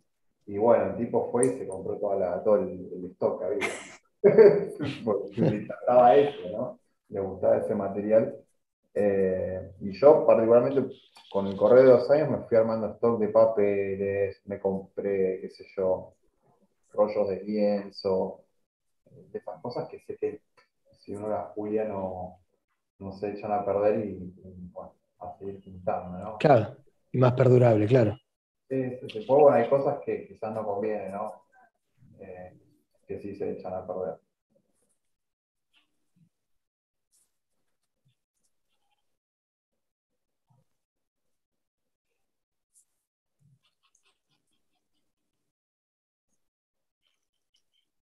Pero bueno, como decías vos, Julio, si tenés un sponsor, buenísimo, ¿no? Claro, hay que, hay que pegar con algún sponsor y ya está. y, ahí ponemos más materia. Claro, ahí le mandamos todo lo Yo digo, las personas que, trabajan con, con, espátula, por ejemplo, hoy un COE COEC no puede, Stephen Coek, viste, no podría vivir, o sea, de, la pintura. Creo que. Porque, viste, la cantidad de espátula que metía, o sea. Mm, ¿Cuánta materia habrá puesto Coek Coek? O sea. Mm. No, no, verdad. Qué lindo, ¿eh? a mí la pintura de espátula me vuelve loco. Sí. Levantás todo ese, ese, ese leche, es hermoso. Maravilloso, pero cuánta, cuánta guita invertida, ¿no? yo a veces miento un poquito cuando hago, algunos laburos con materia. Mm. A veces hago una, primera, si quiero hacer tipo como una ilusión, ¿viste? Ahí. Sí. Va, ilusión no, porque está puesta de posta la materia, pero a veces uso pasta para modelar, ¿viste? Sí. Y le mando pasta, los, seco, a, un poco el proceso del secado, y después le mando acrílico o óleo encima y ya tengo ahí como el empaste con él, ¿no? Hago eso. Y si no, otra es, eh, le agrego carbonato de calcio. Ah, mira. El óleo y eso lo engorda. Y para hacer eh, empastes. Y, y, algunos pintores usan polvo de mármol también. Uy, esas cosas yo no estoy enterado, no. No tengo ni idea.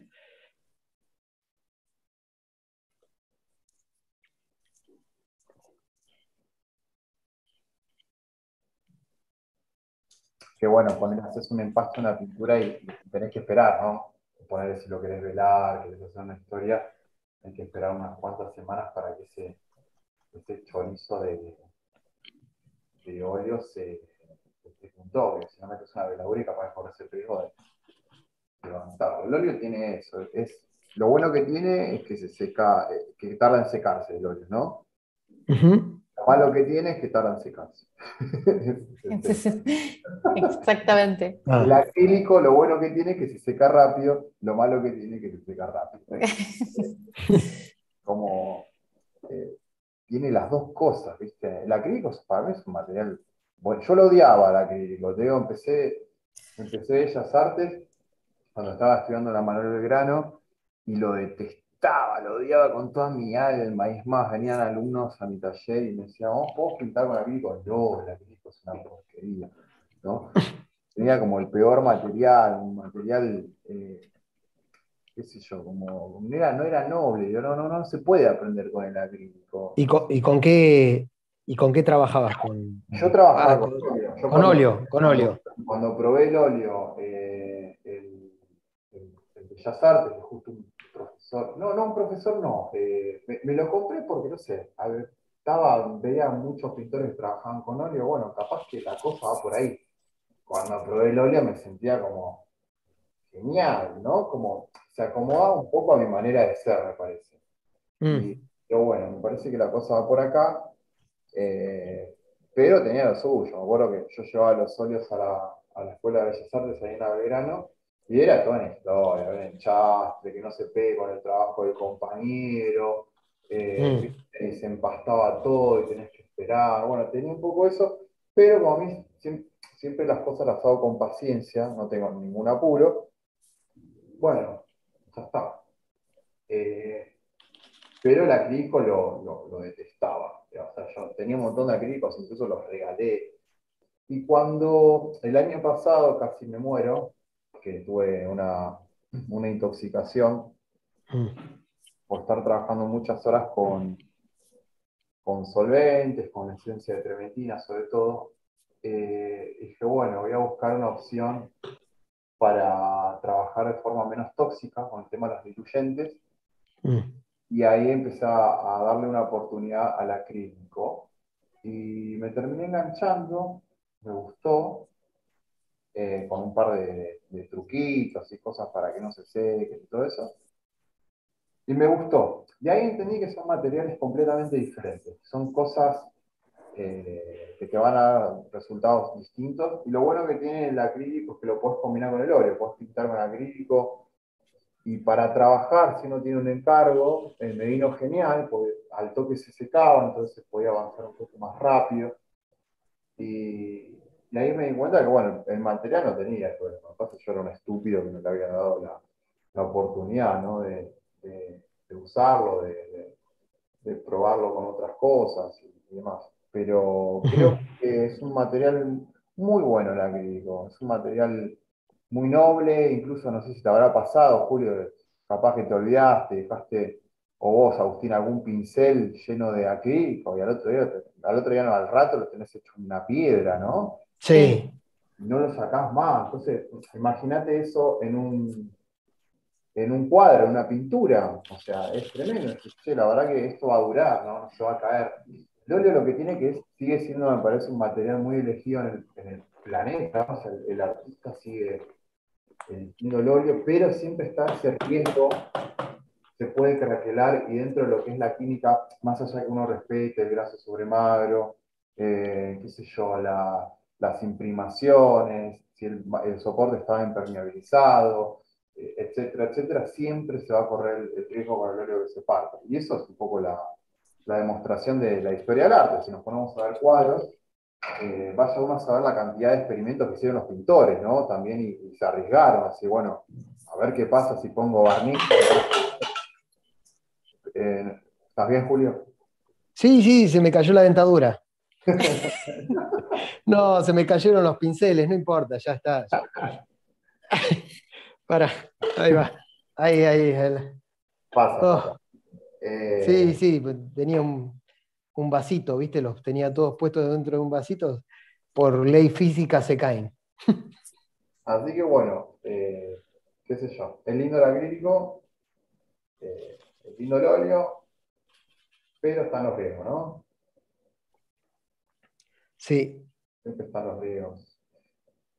Sí, de, no durabilidad, digamos. Y ojo, no durabilidad de acá a 100 años, durabilidad acá a un par de años, ¿no?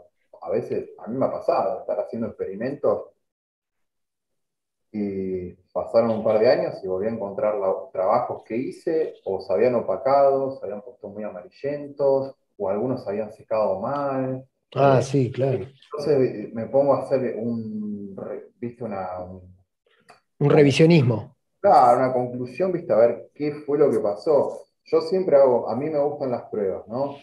Cada vez que voy a probar algo, trato de no hacerlo, eh, no sé, en algo que yo le voy a dar un interés, ¿no? Siempre me hago, me hago mm. en chiquito, me hago unos pequeños apuntes, algunos sketches, y digo, bueno, a ver qué pasaría, no sé, me pasaron la data de, qué sé yo, esto de ponerle polvo de mármol óleo, ¿viste? lo mezclo, pruebo en una tela, dejo pasar un tiempo, después ah, tomo la tela y empiezo a mover un poco la tela. Exageradamente, ¿no? O sea, en realidad uno no se va a poner a jugar con la flexibilidad de la tela o del soporte que estás trabajando, porque obviamente se puede romper, ¿no? Pero hago un poco esa prueba, esa prueba inmediata, a ver cuánto se lo banco, y bueno, ahí me doy cuenta que se parte, que se la banca un poco más la capa pictórica, y ahí voy haciendo mis propias conclusiones. Pero me gusta esto de probar, incluso con cosas que dicen, no, no uses esto, bueno, vamos a ver por qué.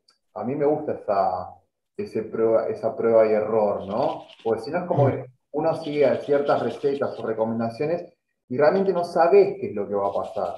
claro, claro no, no hagas ¿por qué? ¿Viste? hay alguna, alguna que otra explicación, pero después en el proceso de hacer lo que está equivocado, entre comillas, capaz que descubrís otra cosa, ¿viste? Mm. otra cosa genial, ¿no? O por lo menos tenés, la información empírica como para decirle a una persona con, total contenido, decirle, mira, no hagas esto porque te va a pasar tal cosa, ¿no? Y decirle, yo lo hice, yo lo hice, yo la pifié. Claro, claro. Entonces, eh, qué sé yo, por lo menos a, mí me, pasa un poco eso de, ir experimentando, ¿no?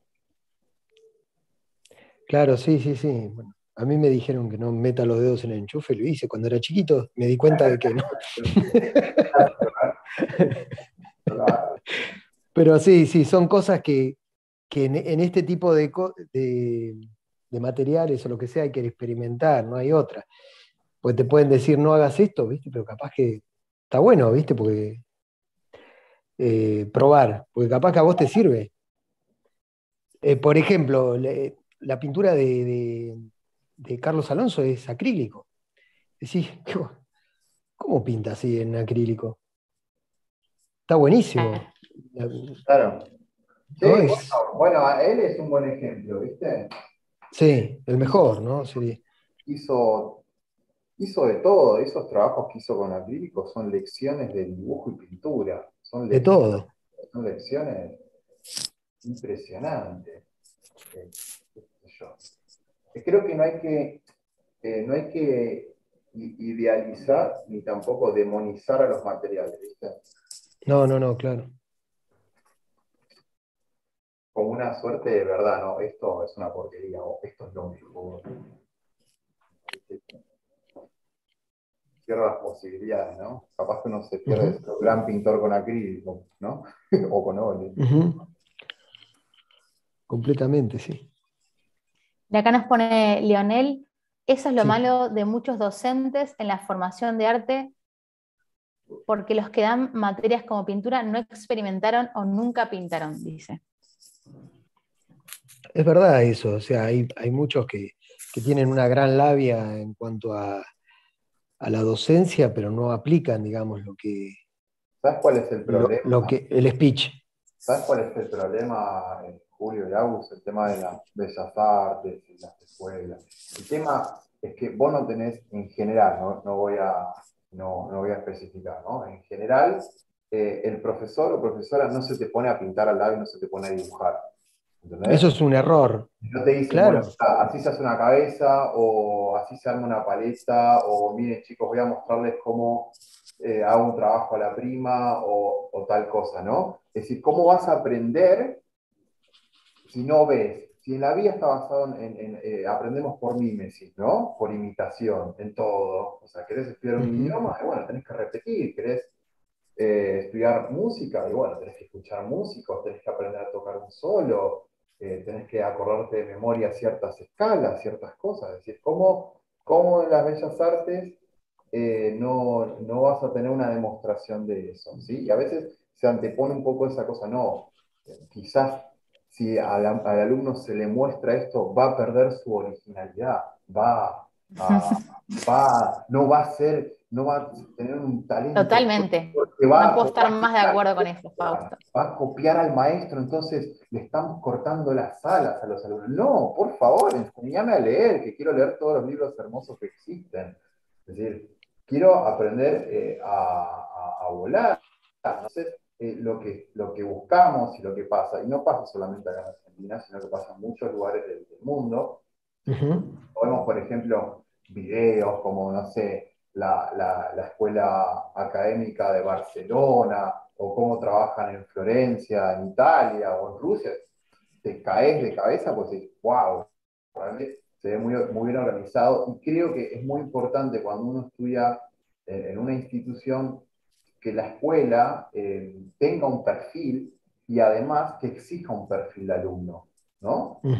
Eh, no vas a aprender lo mismo, por ejemplo, eh, no sé, en una escuela de música popular, no vas a, vas a, salir con un perfil diferente a que vas a un conservatorio donde se le va a dar un interés, una importancia a lo que sería eh, la música clásica, la música de concierto. ¿Entendés?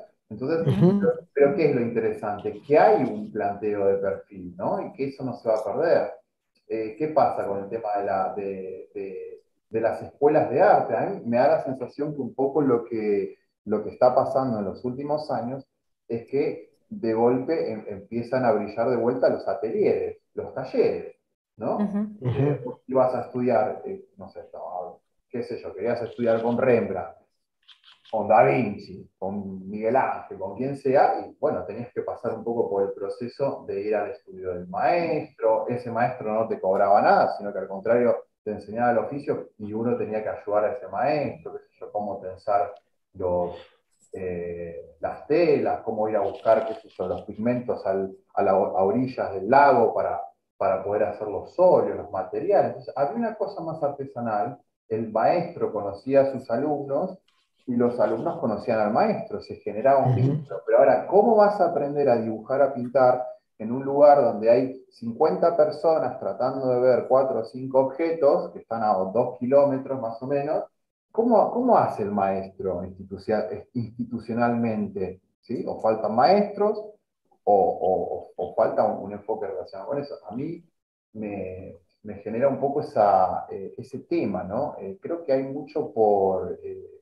por trabajar. Y ojo, no, no, es que estoy en contra de las escuelas de bellas artes y eso, no. Pero bueno, yo también yo soy eh, consumidor de arte, como ustedes. Yo consumo arte. Entonces, si yo voy a un, recital o a ver una obra de teatro, yo voy a ser exigente como público también, ¿no? O sea, uno también está esperando un... si yo voy a comer, voy a, voy a comer bien, quiero comer algo bien, no quiero comer una porquería, ¿no?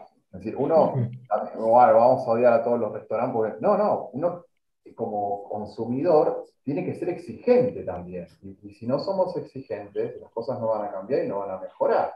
Entonces, eh, a mí me parece que está todo por hacerse, por lo menos acá en Argentina. Quizás en otros países eh, del globo pasa algo parecido, ¿no? Ah, no sé qué opinan. Sí. Yo coincido absolutamente con que falta falta oficio y esto que recién decías, Faust, de que el docente se te siente al lado y que te, que te muestre procedimientos, que te enseñe técnica y después uno haga la propia ensalada de lo que necesita y lo que quiere hacer en su trabajo personal. Claro, sería lo ideal eso, lo que, lo que, lo que dicen. El tema es que parece como que los, docentes en, arte parece como que ya llevan un, tipo de, programa en el cual no, se salen de eso y como que quizás a veces eh, les es difícil, ¿viste? O, se inhiben, ¿viste? Porque no tienen quizás un manejo técnico, pero tienen un manejo bastante bueno en, la, oratoria, en el lenguaje, eh, que son bastante explícitos. Yo he, tenido, digamos, amigas que, han aprendido y, el tipo nunca dibujó nada. es una cosa increíble eso. Para mí, yo razono, con, lo que dice Fausti, que el, tema es agarrar y, y que se, ponga el maestro ahí a, mostrar cómo, cómo, se dibujar una mano, cómo se estructurarla, cómo estructurar un rostro. Eso me parece que, está bien. A ver, eh, si esto lo trasladamos a otro oficio, ponerle la danza. Vamos a llevarlo al plano de la danza y, vamos a imaginar que somos bailarines, ¿no?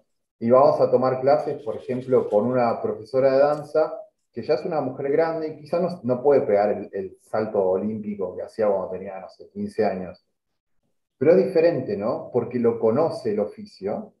Entonces te va a agarrar y te va a decir, mira, fíjate por acá, esto no va. Incluso hay, incluso hay pintores que tampoco te tienen que mostrar demasiado, pero te dicen, fíjate esto, esto, esto. Y como ya conocen el oficio, eh, te cantan la justa no, solamente tiene que ver, ¿a qué voy con esto? No tiene que ver con que uno tenga que demostrar todo, pero sí saber muy bien de lo que uno está hablando, ¿no? Sí, no, obviamente porque justamente puede llevar a una frustración al alumno. En el caso de mostrar las habilidades del docente y quizás, viste, no sabe ni, cómo marcarla. O sea, quizás hacerlo como muy, muy de a poco, no, no decir, mira, así es un rostro y sale corriendo el pibe o la piba. Es, lógico. No, es siempre gradual, ¿no? Gradual y progresivo. Gradual, gradual, gradual, claro, claro, gradual. Sí, sí, sí. Yo he tenido un profesor que, buenísimo, era, se llamaba Ponce. Sí. Tipo, tipo no hablaba mucho, ¿viste? No hablaba mucho en las clases, o sea, hablaba lo justo. Eh, yo lo quiero mucho a Ponce. Y la cosa es que en un momento eh, hablaba acerca de la figura humana, teníamos ahí modelo, y, el tipo decía, bueno, sí, dibujen, bueno, sí. Y yo digo, bueno, pero falta la mano del, dibujante, a ver cómo, viste, si, me explicás eso, o sea, llevámelo a, digamos, a dibujar en un papel. Entonces le pusieron un papel al tipo. Y dice, bueno, la figura se puede hacer así. Pero te juro, la habilidad que tiene el tipo ese no la, tiene, no la he visto nunca. O sea, el dibujo que tiene es increíble. Es increíble. Que, digamos, o sea, uno, viste, la, mayoría de, de obras de pintores o lo que sea, que te gusten o no, es relativo. Pero el tipo, cuando dibujaba, ya está, te hacía volar. Entonces digo, bueno, es tan importante lo que dice también Fausto, lo que decís vos, que es ver la mano del, dibujante. Entonces ahí empecé a entender, digo, claro, estos tipos tienen oficio, tienen dedicación, le dan, le, dan al laburo, no es que, eh, viste, solamente son grandes oradores. Y aparte, eh, aparte la importancia del tacto. ¿no? O sea, el, hecho de cómo de cómo transmitir las cosas. Eso, eso creo que mm. es importantísimo, ¿no? ¿Cómo, cómo haces, ¿no? Dentro de, yo me, pongo el lugar de, maestro y me pongo el lugar siempre el lugar de estudiante, ¿no? de una persona que a lo mejor, no sé, cualquier persona, no, no, vamos a hablar de, alguien en particular, pero el, tacto de cómo te dice un maestro, fíjate, esto, o te diga, no sé, por ejemplo, esto está mal, o eh, es horrible lo que estás haciendo, ¿no? O sea, estoy llevando a un extremo terrible. Pero. Eso en el IUNA pasa, ¿eh? Yo lo he escuchado a algún docente decir alguna cosa así. Terrible. pará, Es, es, una cosa, pero gravísima a nivel de derechos humanos.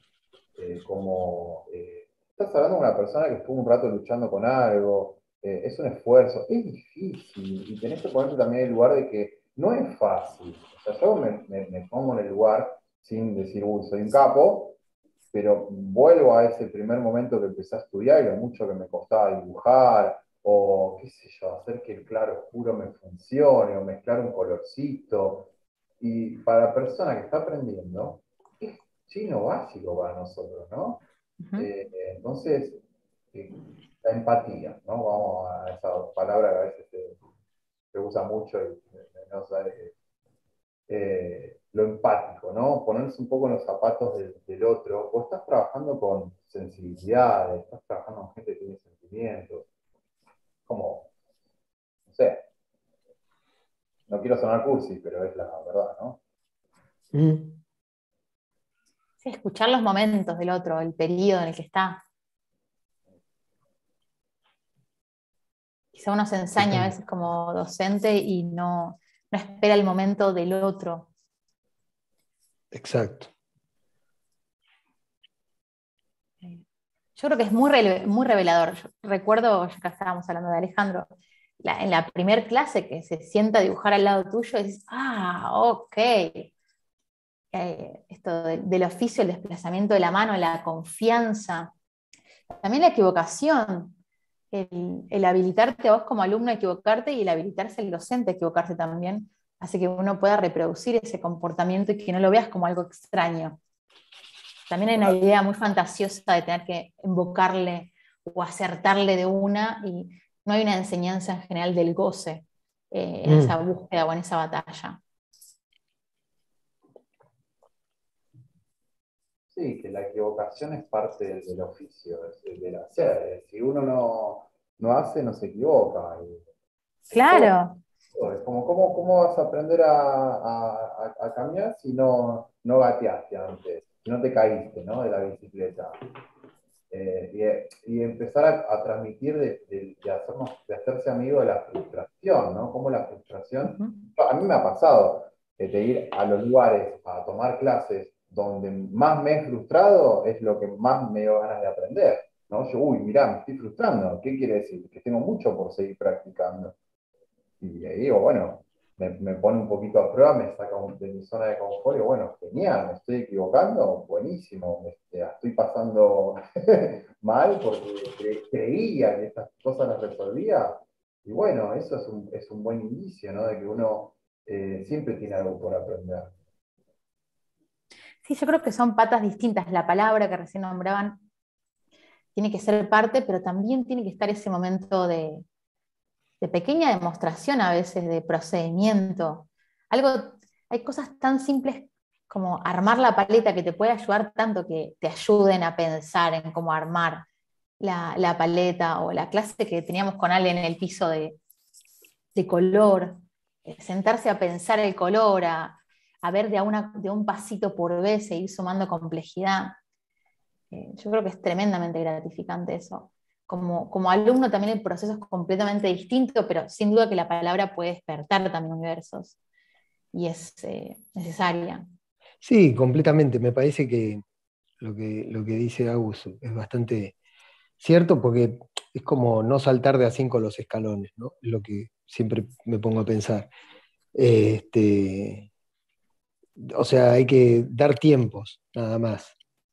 Y ustedes con el tema de la docencia y todo, obviamente, este, se, sobreentiende que tiene que ser así, ¿no? O sea, tiene que ir de a poco.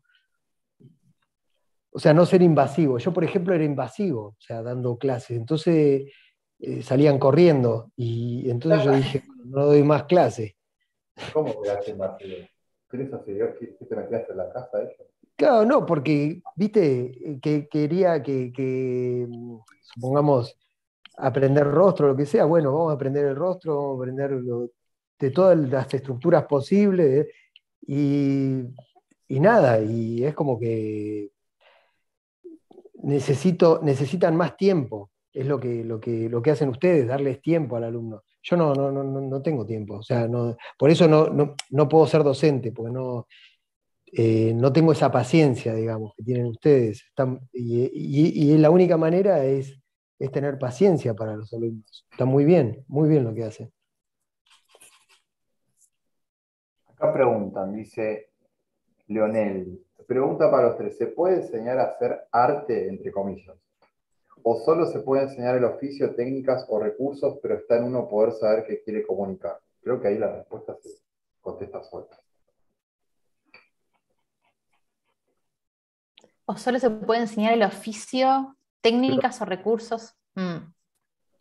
Creería que sí, que se puede enseñar solo el oficio y después está uno y su quilombo. Sí, es, eso. Decidir después si, si, querés ser artista o no, o, querés dedicarte a eso, ¿no? Y artista me parece que es una palabra demasiado grande, ¿no? Para llegar a... Me parece que eh, primero es todo estudio y después, y aparte para, cuando uno toma clases o lo que sea, está para como estudiante. Y hay gente que quiere ya ser artista, ¿no? Eso nos enseña. Mm. Sí, una cosa entre como aprender eh, o hacer, ¿no? Hay, gente que quiere hacer, pero no quiere aprender. Y, y uno se tiene que poner en el, en, el, en el, lugar y en el nivel en el que estás. Si uno está en, modo estudiante, tienes que estudiar, ¿no? O sea, ¿cuál es el apuro de, no sé, vamos, vamos a, a, divagar un poco, ¿no? ¿Cuál es el objetivo? Aprender, ser un genio, que la, la gente te aplauda, que te digan que sos súper talentoso, eh, o, vender muchas pinturas, o ser famoso. ¿Cuál es el objetivo, no? O sea, ¿cuál es, cuál es tu objetivo? Eh, ¿Qué estás pensando ¿no? en el momento? ¿Por qué estás estudiando arte? ¿Realmente te gusta o son otras las cosas que, que se anteponen eh, a, tu, a, tu, a, tu, estudio, ¿no? Entonces, a, mí me pasa un poco eso, ¿no? Como yo cuando empecé Bellas Artes, digo, bueno, yo quiero estudiar dibujo y pintura y no sé qué va a pasar después de mi vida, ¿no? No sé si, si me va a gustar, si voy a vivir de eso, si voy a trabajar eh, o dando clases o vendiendo pintura, qué sé yo, no sé, siempre me acuerdo de esto. ¿Por qué estoy haciendo esto? Porque me gusta, ¿no? A veces suena un poco eh, como, parecería vacía la respuesta, ¿no? A veces las personas esperan un poco más. Pero bueno, todo, todo llega de acuerdo a lo, que, uno va haciendo y va aprendiendo. O me dicen, mm. ¿cuánto, tiempo voy a, me va a demorar eh, entender esta técnica? O qué sé yo, no sé. Capaz que no la entendés nunca. no sé. no es tan importante. No es tan importante. Y aparte, eh, no, no soy mago, yo no hago milagros, yo enseño. Y ahí después, bueno, queda en cada uno eh, lo que quiera hacer. O me dice, no, maestro, sí, sí me considero maestro. Yo creo que me considero un buen estudiante. Siempre estoy, estudiando, ¿no? Siempre estoy investigando, leyendo o preguntando a otros colegas. Eh, pero no sé si digo, soy, eh, yo soy maestro. Creo que el, tema de la maestría llega por un tema de, querer aprender y de querer transmitir y comunicar el, conocimiento. O sea, a nivel social, a mí me pasa que yo, además de que vivo de las clases, eh, me pasa que eh, siento que a nivel social estoy ayudando a, otra persona. Eso es lo que, lo que, me pasa a mí. Es decir, estoy compartiendo de algo a una persona, está disfrutando, está aprendiendo. Es decir, esa es como un poco mi placer. Pero de ahí en más, eh, si uno es eh, si hace arte o si quiere, eh, qué sé yo, hacer, no sé, arte abstracto o hacer ilustración, como está haciendo Julio, o retratista, o hacer cosas de la imaginación, o trabajar del natural. Eh, creo que eso está buenísimo, ¿no? Que cada uno haga lo que quiera y que no es más o menos arte, todos estamos haciendo arte. ¿sí? Después depende a, hasta dónde cada uno quiere llegar con eso, ¿no?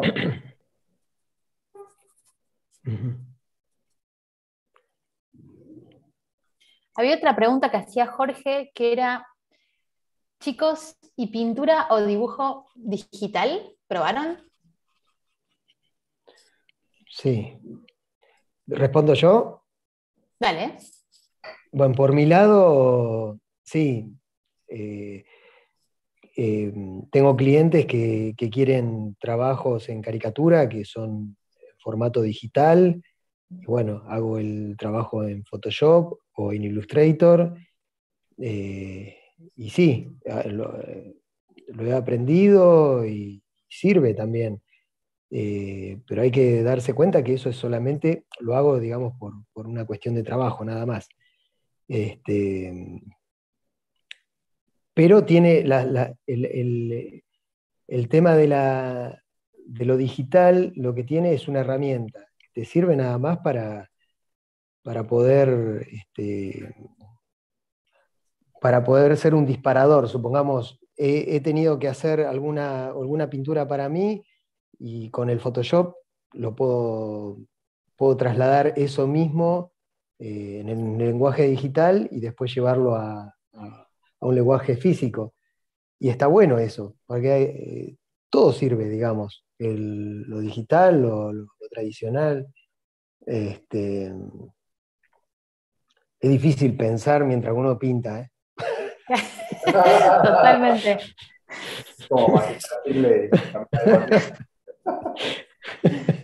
Jodido, ¿viste? No. bueno, ¿viste? Claro, ¿viste? Sí. Bueno, entonces, nada, mi mamá una bolsa de la basura. claro, y, ¿viste? y, y, Caruso dice, bueno, esa no era la pregunta, pero no importa. pero sí, lo que le, respondería es que sí, trabajo, trabajo en digital, pero no solamente para, eh, en forma laboral, nada más, no en forma, digamos, como ah, en, tu, trabajo personal. Esta noche no veo, esta noche no veo la hora de ponerme a pintar en digital, no, no, prefiero lo tradicional. Me gusta ensuciarme. Ah, sabes que a mí eh, me pasa exactamente lo mismo, ¿no? Eh, yo lo digital lo, lo, tomo como una herramienta, como una herramienta más, pero no para mí como, como, un fin en sí mismo, ¿no? Eh, es decir, yo uso, por ejemplo, lo digital cuando doy clases, me resulta muy práctico algunas cosas, mostrar, qué sé yo, en algún, en algún software de, de dibujo, le muestro a la gente y se puede apreciar mejor. Por una cuestión práctica, ¿no? No por una cuestión de que sea mejor. Se puede apreciar. O sea, me parece buenísimo. Y después, por ejemplo, me gusta mucho para, para hacer bocetos o estudios previos, bueno, no sé, quiero ver, qué sé yo, el tema de, de la estructura de, de, este dibujo, o me gustaría hacer un boceto para una obra, algo de la imaginación. Entonces, como se puede trabajar por capas, me permite arrepentirme, volverme a un estadio anterior. Y quizás es mucho más rápido si yo, por ejemplo, me lo pongo a hacer con acrílico o, no sé, con carbonilla, ¿no?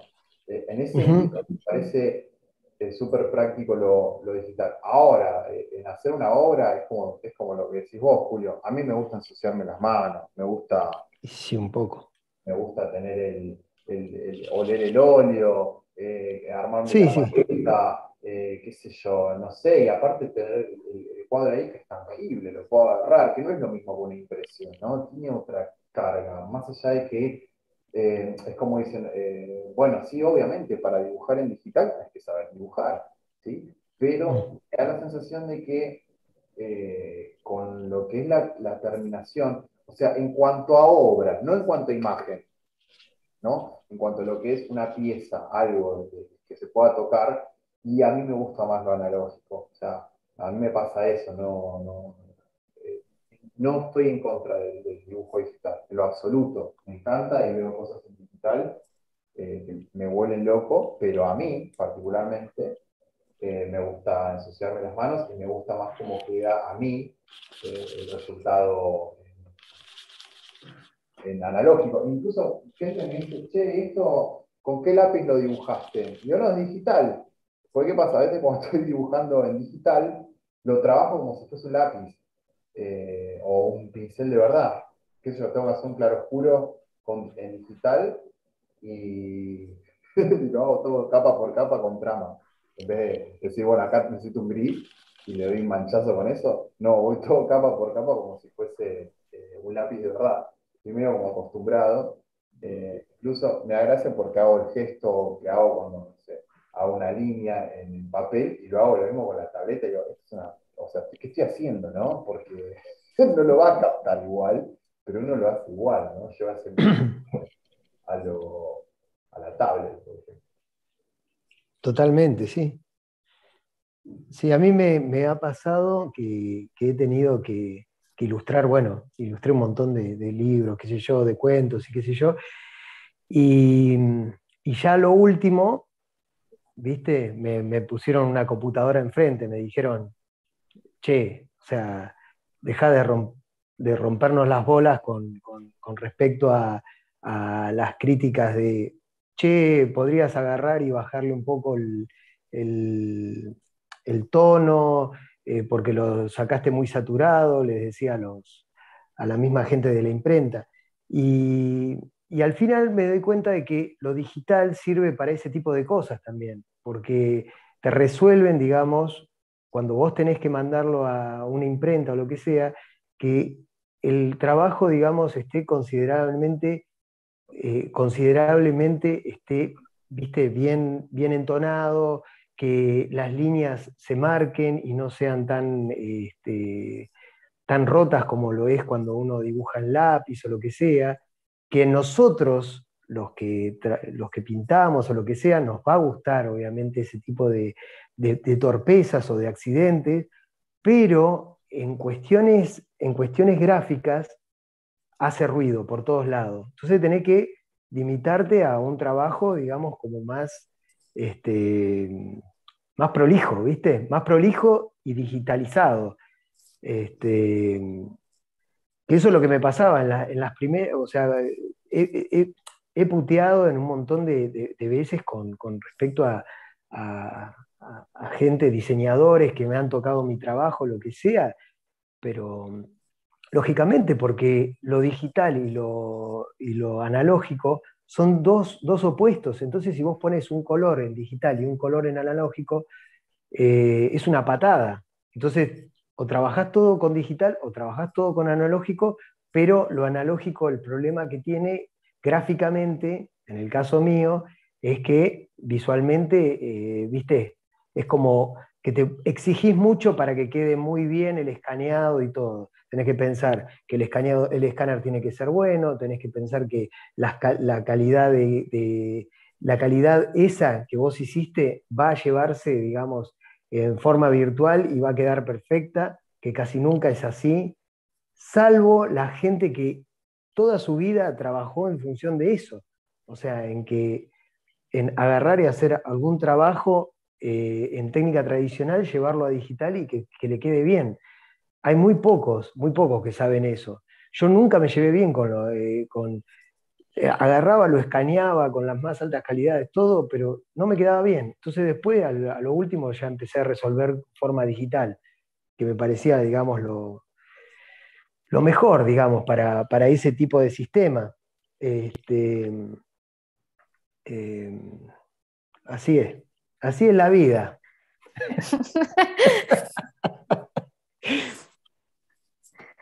Quiero aprovechar para saludar a Guido que está ahí en el chat. Muchísimas gracias, Guido, por estar por allí. Em, yo probé, probé dibujar de manera digital y no me gustó. Lo uso brevemente para las clases, no con demasiada astucia, más bien todo lo contrario. Y, lo, nunca me, pasa lo siguiente, cuando veo una pintura digital o concept art me, llama la atención, pero no me conmueve como si me conmueve una pintura que tiene materia. hay algo en la... Claro, la, materia, ahí es la palabra, la materia. Sí, la la materia. El tema, el tema es, Agus y Fausto, que nosotros no nos criamos con eso. o sea, hoy los chicos de ahora eh, están, viste, empapados con el tema de lo digital, viste. Pero nosotros no. Las posibilidades que da, sin, duda, son maravillosas. Son maravillosas, claro. Mm. Em, pero sí, no, no, no prosperó. intenté, pero no prosperó no, me, siento cómoda, tengo ganas de, tocar el lápiz, de tocar el papel. Ese es el punto, claro. Y no un lápiz óptico, ¿no? Claro, y también estoy cansada un poco de la pantalla y siento que la pintura te da ese oxígeno que mm. necesitas de esa cosa más táctil, más viva. Este, les comento que son las 7 de la noche. Cuarto. Podría ser. Son 7 y cuarto. ¿Qué les parece que vayamos cerrando en minutos? Sí, no tomamos el café con leche, es una barbaridad. ¿Qué? ¿Tenías un café con leche por ahí? no, estoy jorobando. No, no, no, digo que nos olvidamos de, todo. Que nos pusimos a pintar y ya está, nos olvidamos de. Está, muy bien, está muy bien. de la merienda, de todo. Es que podríamos, eh, aprovecho para comentar que podría seguir infinitamente esta pintura, procuro luego que dos personas me posen y voy a cambiar los retratos y un poco las figuras del natural. No quiero clausurar mucho haciendo detalles y que sin ninguna duda la, pintura requiere mucho tiempo y es, es, realmente infinita, pero nos parecía hermoso poder acercarles un momento de, de trabajo de, approach, de sketch, inclusive avanzarlo como lo avanzó Faust y como lo avanzó Julio, con mucho más detalle. Qué impresionante, maravillosos laburos, chicos, maravillosos. Eh, Gracias. Y, mm, Ahora después voy a de... de ustedes porque tengo la cabeza, ya sabes. Sí. Tengo la cabeza debajo de la cámara esto de trabajar desde la reproducción y pensar en la interpretación, yo en mi caso no respeté para nada las cargas que supongo que usó Watts, sino quería hacer una pintura con un poco más de carga, que vaya avanzando un poquito más hacia la carga. Y fui armando y desplazando un poco la, figura, trabajé sobre, sobre tela de lino y con una base oleosa que sospecho que es similar a la que utilizó Watts no, tanto a la temperatura, sino tanto a la densidad y la característica de esa, de esa base y fui desplazando el dibujo a pincel derecho como hicieron los muchachos aquí presentes en el caso de Julio con acrílico y en el caso de Faust también con óleo.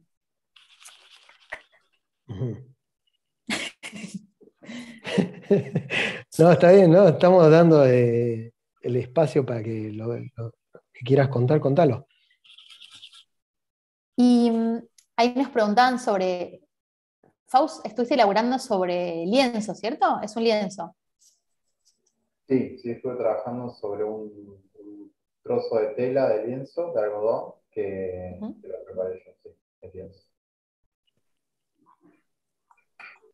Maravilloso. Eh, cuéntenos ahí qué les pareció haber chusmeado el procedimiento. Este, este video va a quedar guardado para que lo, lo cuando, cuando gusten. Y pasamos efectivamente el PDF para que puedan chusmear las imágenes de referencia. Quién sabe, habrá una segunda, un segundo approach, no sabemos, o un segundo encuentro de este trío, como dice Don Julio. Y sí, sí, claro. Tenemos que hacer, pero bueno, ya lo vamos a hablar y vamos a ver qué, cuál va a ser la segunda vuelta. Qué lindo, qué lindo hacer este tipo de cosas, está buenísimo. Nos permite cada uno mostrar lo que, lo que quiere hacer y, está bueno que lo, vean y no quedarnos encerrados en el taller solos. Es hermoso, hermoso pintar en, grupo y en equipo. totalmente, totalmente. Y compartir la experiencia también, el que están todos invitados a, a seguir los vivos, que son de pintura en vivo, porque uno son más entrevistas, a ir siguiéndolo pintando y aprovechar este momento para intercambiar ideas em, y pintar juntos como un momento de grupo, porque es verdad que el trabajo del pintor es muy solitario y qué bonito que es poder eh, robar también ideas de cómo fue resolviendo cada uno eh, su, su pintura inclusive con técnicas distintas, sobre soportes distintos. Las formas de resolver de cada uno, está bueno, está bueno. Completamente. Así que no sé, no sé cómo... cómo ¿Quieren, ¿Quieren mostrar sus caras? Este, bueno, eh, a ver. ¿O quieren seguir pintando? No, no, no, no, no. Eh, si, decís, Agus, que ya culminemos, yo no tengo problema. No sé cuánto estuvimos. ¿Cuánto estuvimos? Tres, un poquito menos de tres horas. Tres días. Viaje tiempo. tres días y medio. Si no la cortás, eh, eh, hay, que patear el enchufe en cualquier momento. Sí, para mí, viste, yo cuelgue, yo me quedo ahí pintando y no. Y así eh. Agus salió corriendo. Uy, tengo el pelo blanco. no, no, no, cuando, cuando quieras, cuando quieras me decís y, y, largo los pinceles. Julio, sí. Porque viste, voy viendo y de golpe oh, salta una luz, salta la otra. ¿Viste? Qué laburo, ¿eh? Tremendo. Y se resiente el gaspeado del soporte, Julio. Eh, es un cartón, un cartón de zapato. un cartón de zapato. el chabón es lo menos profesional que hay, ¿viste? O sea, pasó del papel higiénico a cartón de zapato. No, pero es un cartón de zapato buenísimo. Es un cartón que me quedó, viste, esos cartones eh, que vienen con los zapatos. Está muy lindo, Se siente la textura. Vamos a ver si ahora, después, post, lo, sigo un poco, lo trabajo un poquito, porque es muy distinto tener pegada la cámara en la cabeza, pintar, viste, mm. tranquilo, ¿no? Sí. Este, pero bueno, che, qué lindo. Bueno, vamos a dejar los pinceles. Nosotros ya lo dejamos, Julio, te estamos... Ah, ya lo dejaron. Oh, pero me hubieran avisado, para. igual es hermoso verte porque en la vorágine de estar pintando, hablando, mirando el chat, no, no, ahora te vi mover el pincel y dije, ah, me tendría que haber visto más. Por suerte queda grabado. Ahí está. Oh. ¿Eh? A ver. Para. Ahí va. Bien. A ver. Espérate que vos me enseñaste, Agus, a que ponga esto acá, un segundito. Bien, ahí va. Fenomenal, fenomenal. Fenomenal, soy un profesional de youtuber. Creo que estuvo, buenísimo, yo la pasé muy bien.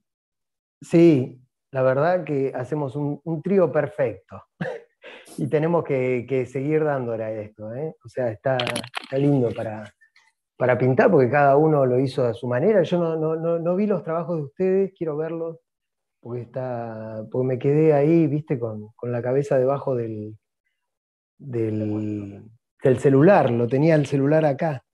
Ahí está. Ah, está buenísimo. Y Rembrandt. Muy, muy bueno, muy bueno, Fausto.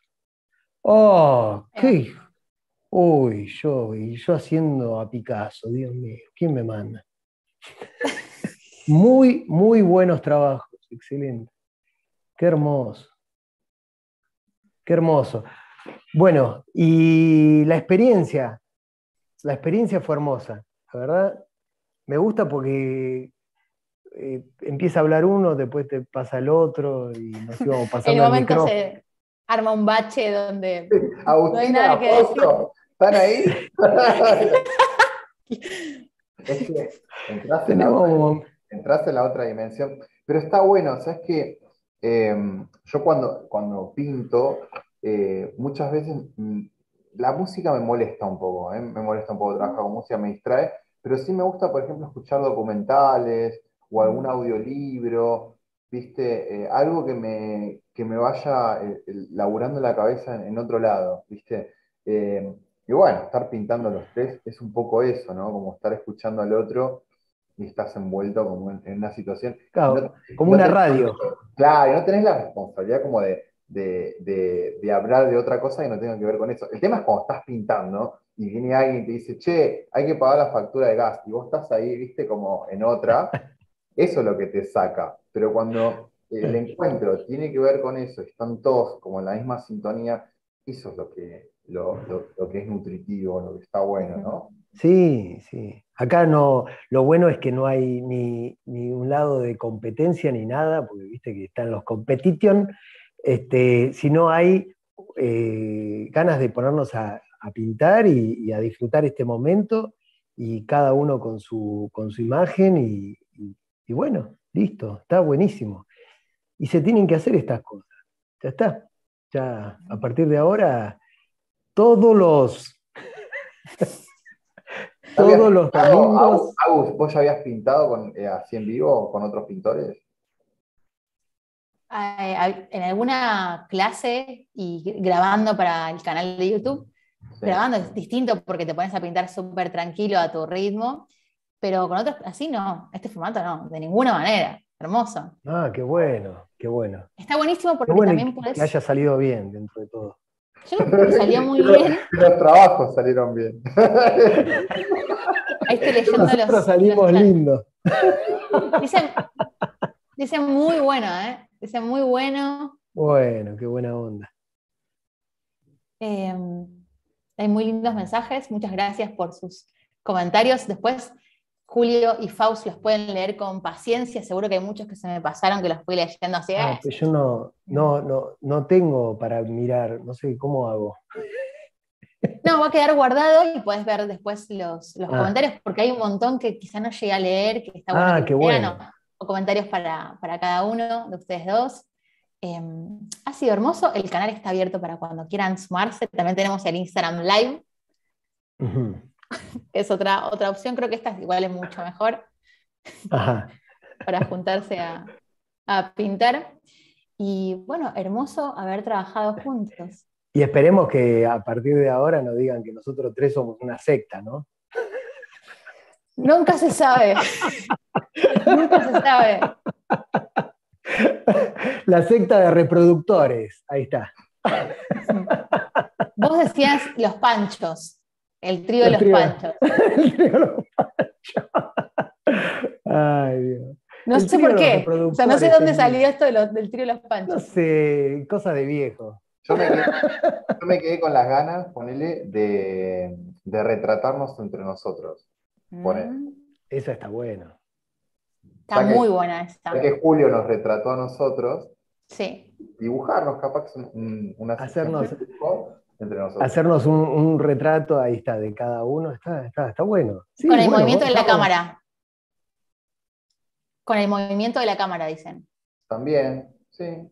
O con foto. Ah. O las dos. uh.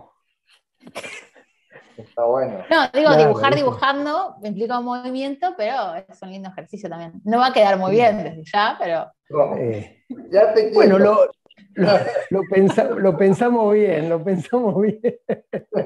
Eh, que, está lindo hacer este tipo de cosas, está bueno. Ya sea reproducciones, o sea ilustraciones, lo que, lo que querramos. Y también recomendárselo a la gente como una actividad linda, ¿no? Para los que pintan, los que dibujan.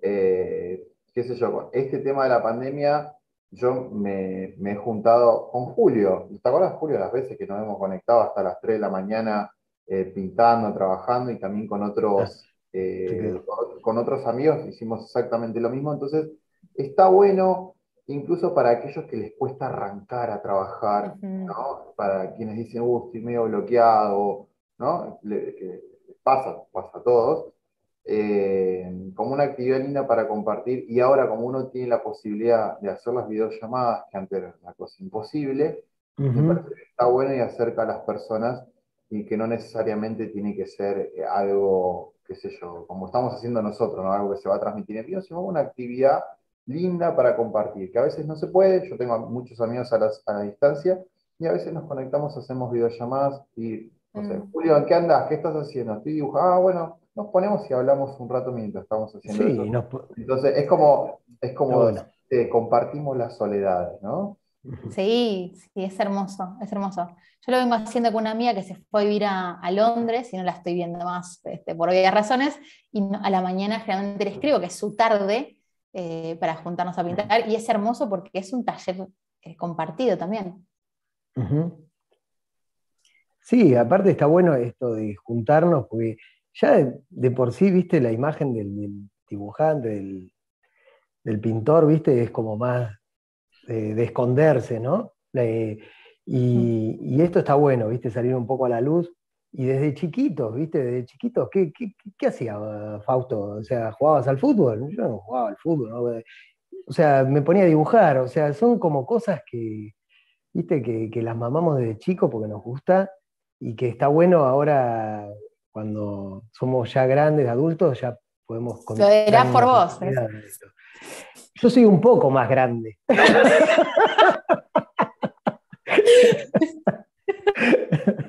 y yo con este tema, con este tema me escraché, ¿viste? Con este tema ciencia y caridad, oh, Dios mío, qué re dramático eh, el tema. Pero vos sabés que en esa época el, academicismo actuaba así, en, un realismo hospitalario, le decía. o sea, buscaban cosas que, sean así medias dramáticas, ¿viste? Medias... Eh, y parece que Picasso, parece que tomó de un pintor, no recuerdo el nombre, ya después lo vamos a subir, eh, que casi hizo la misma composición, pero la hizo años antes.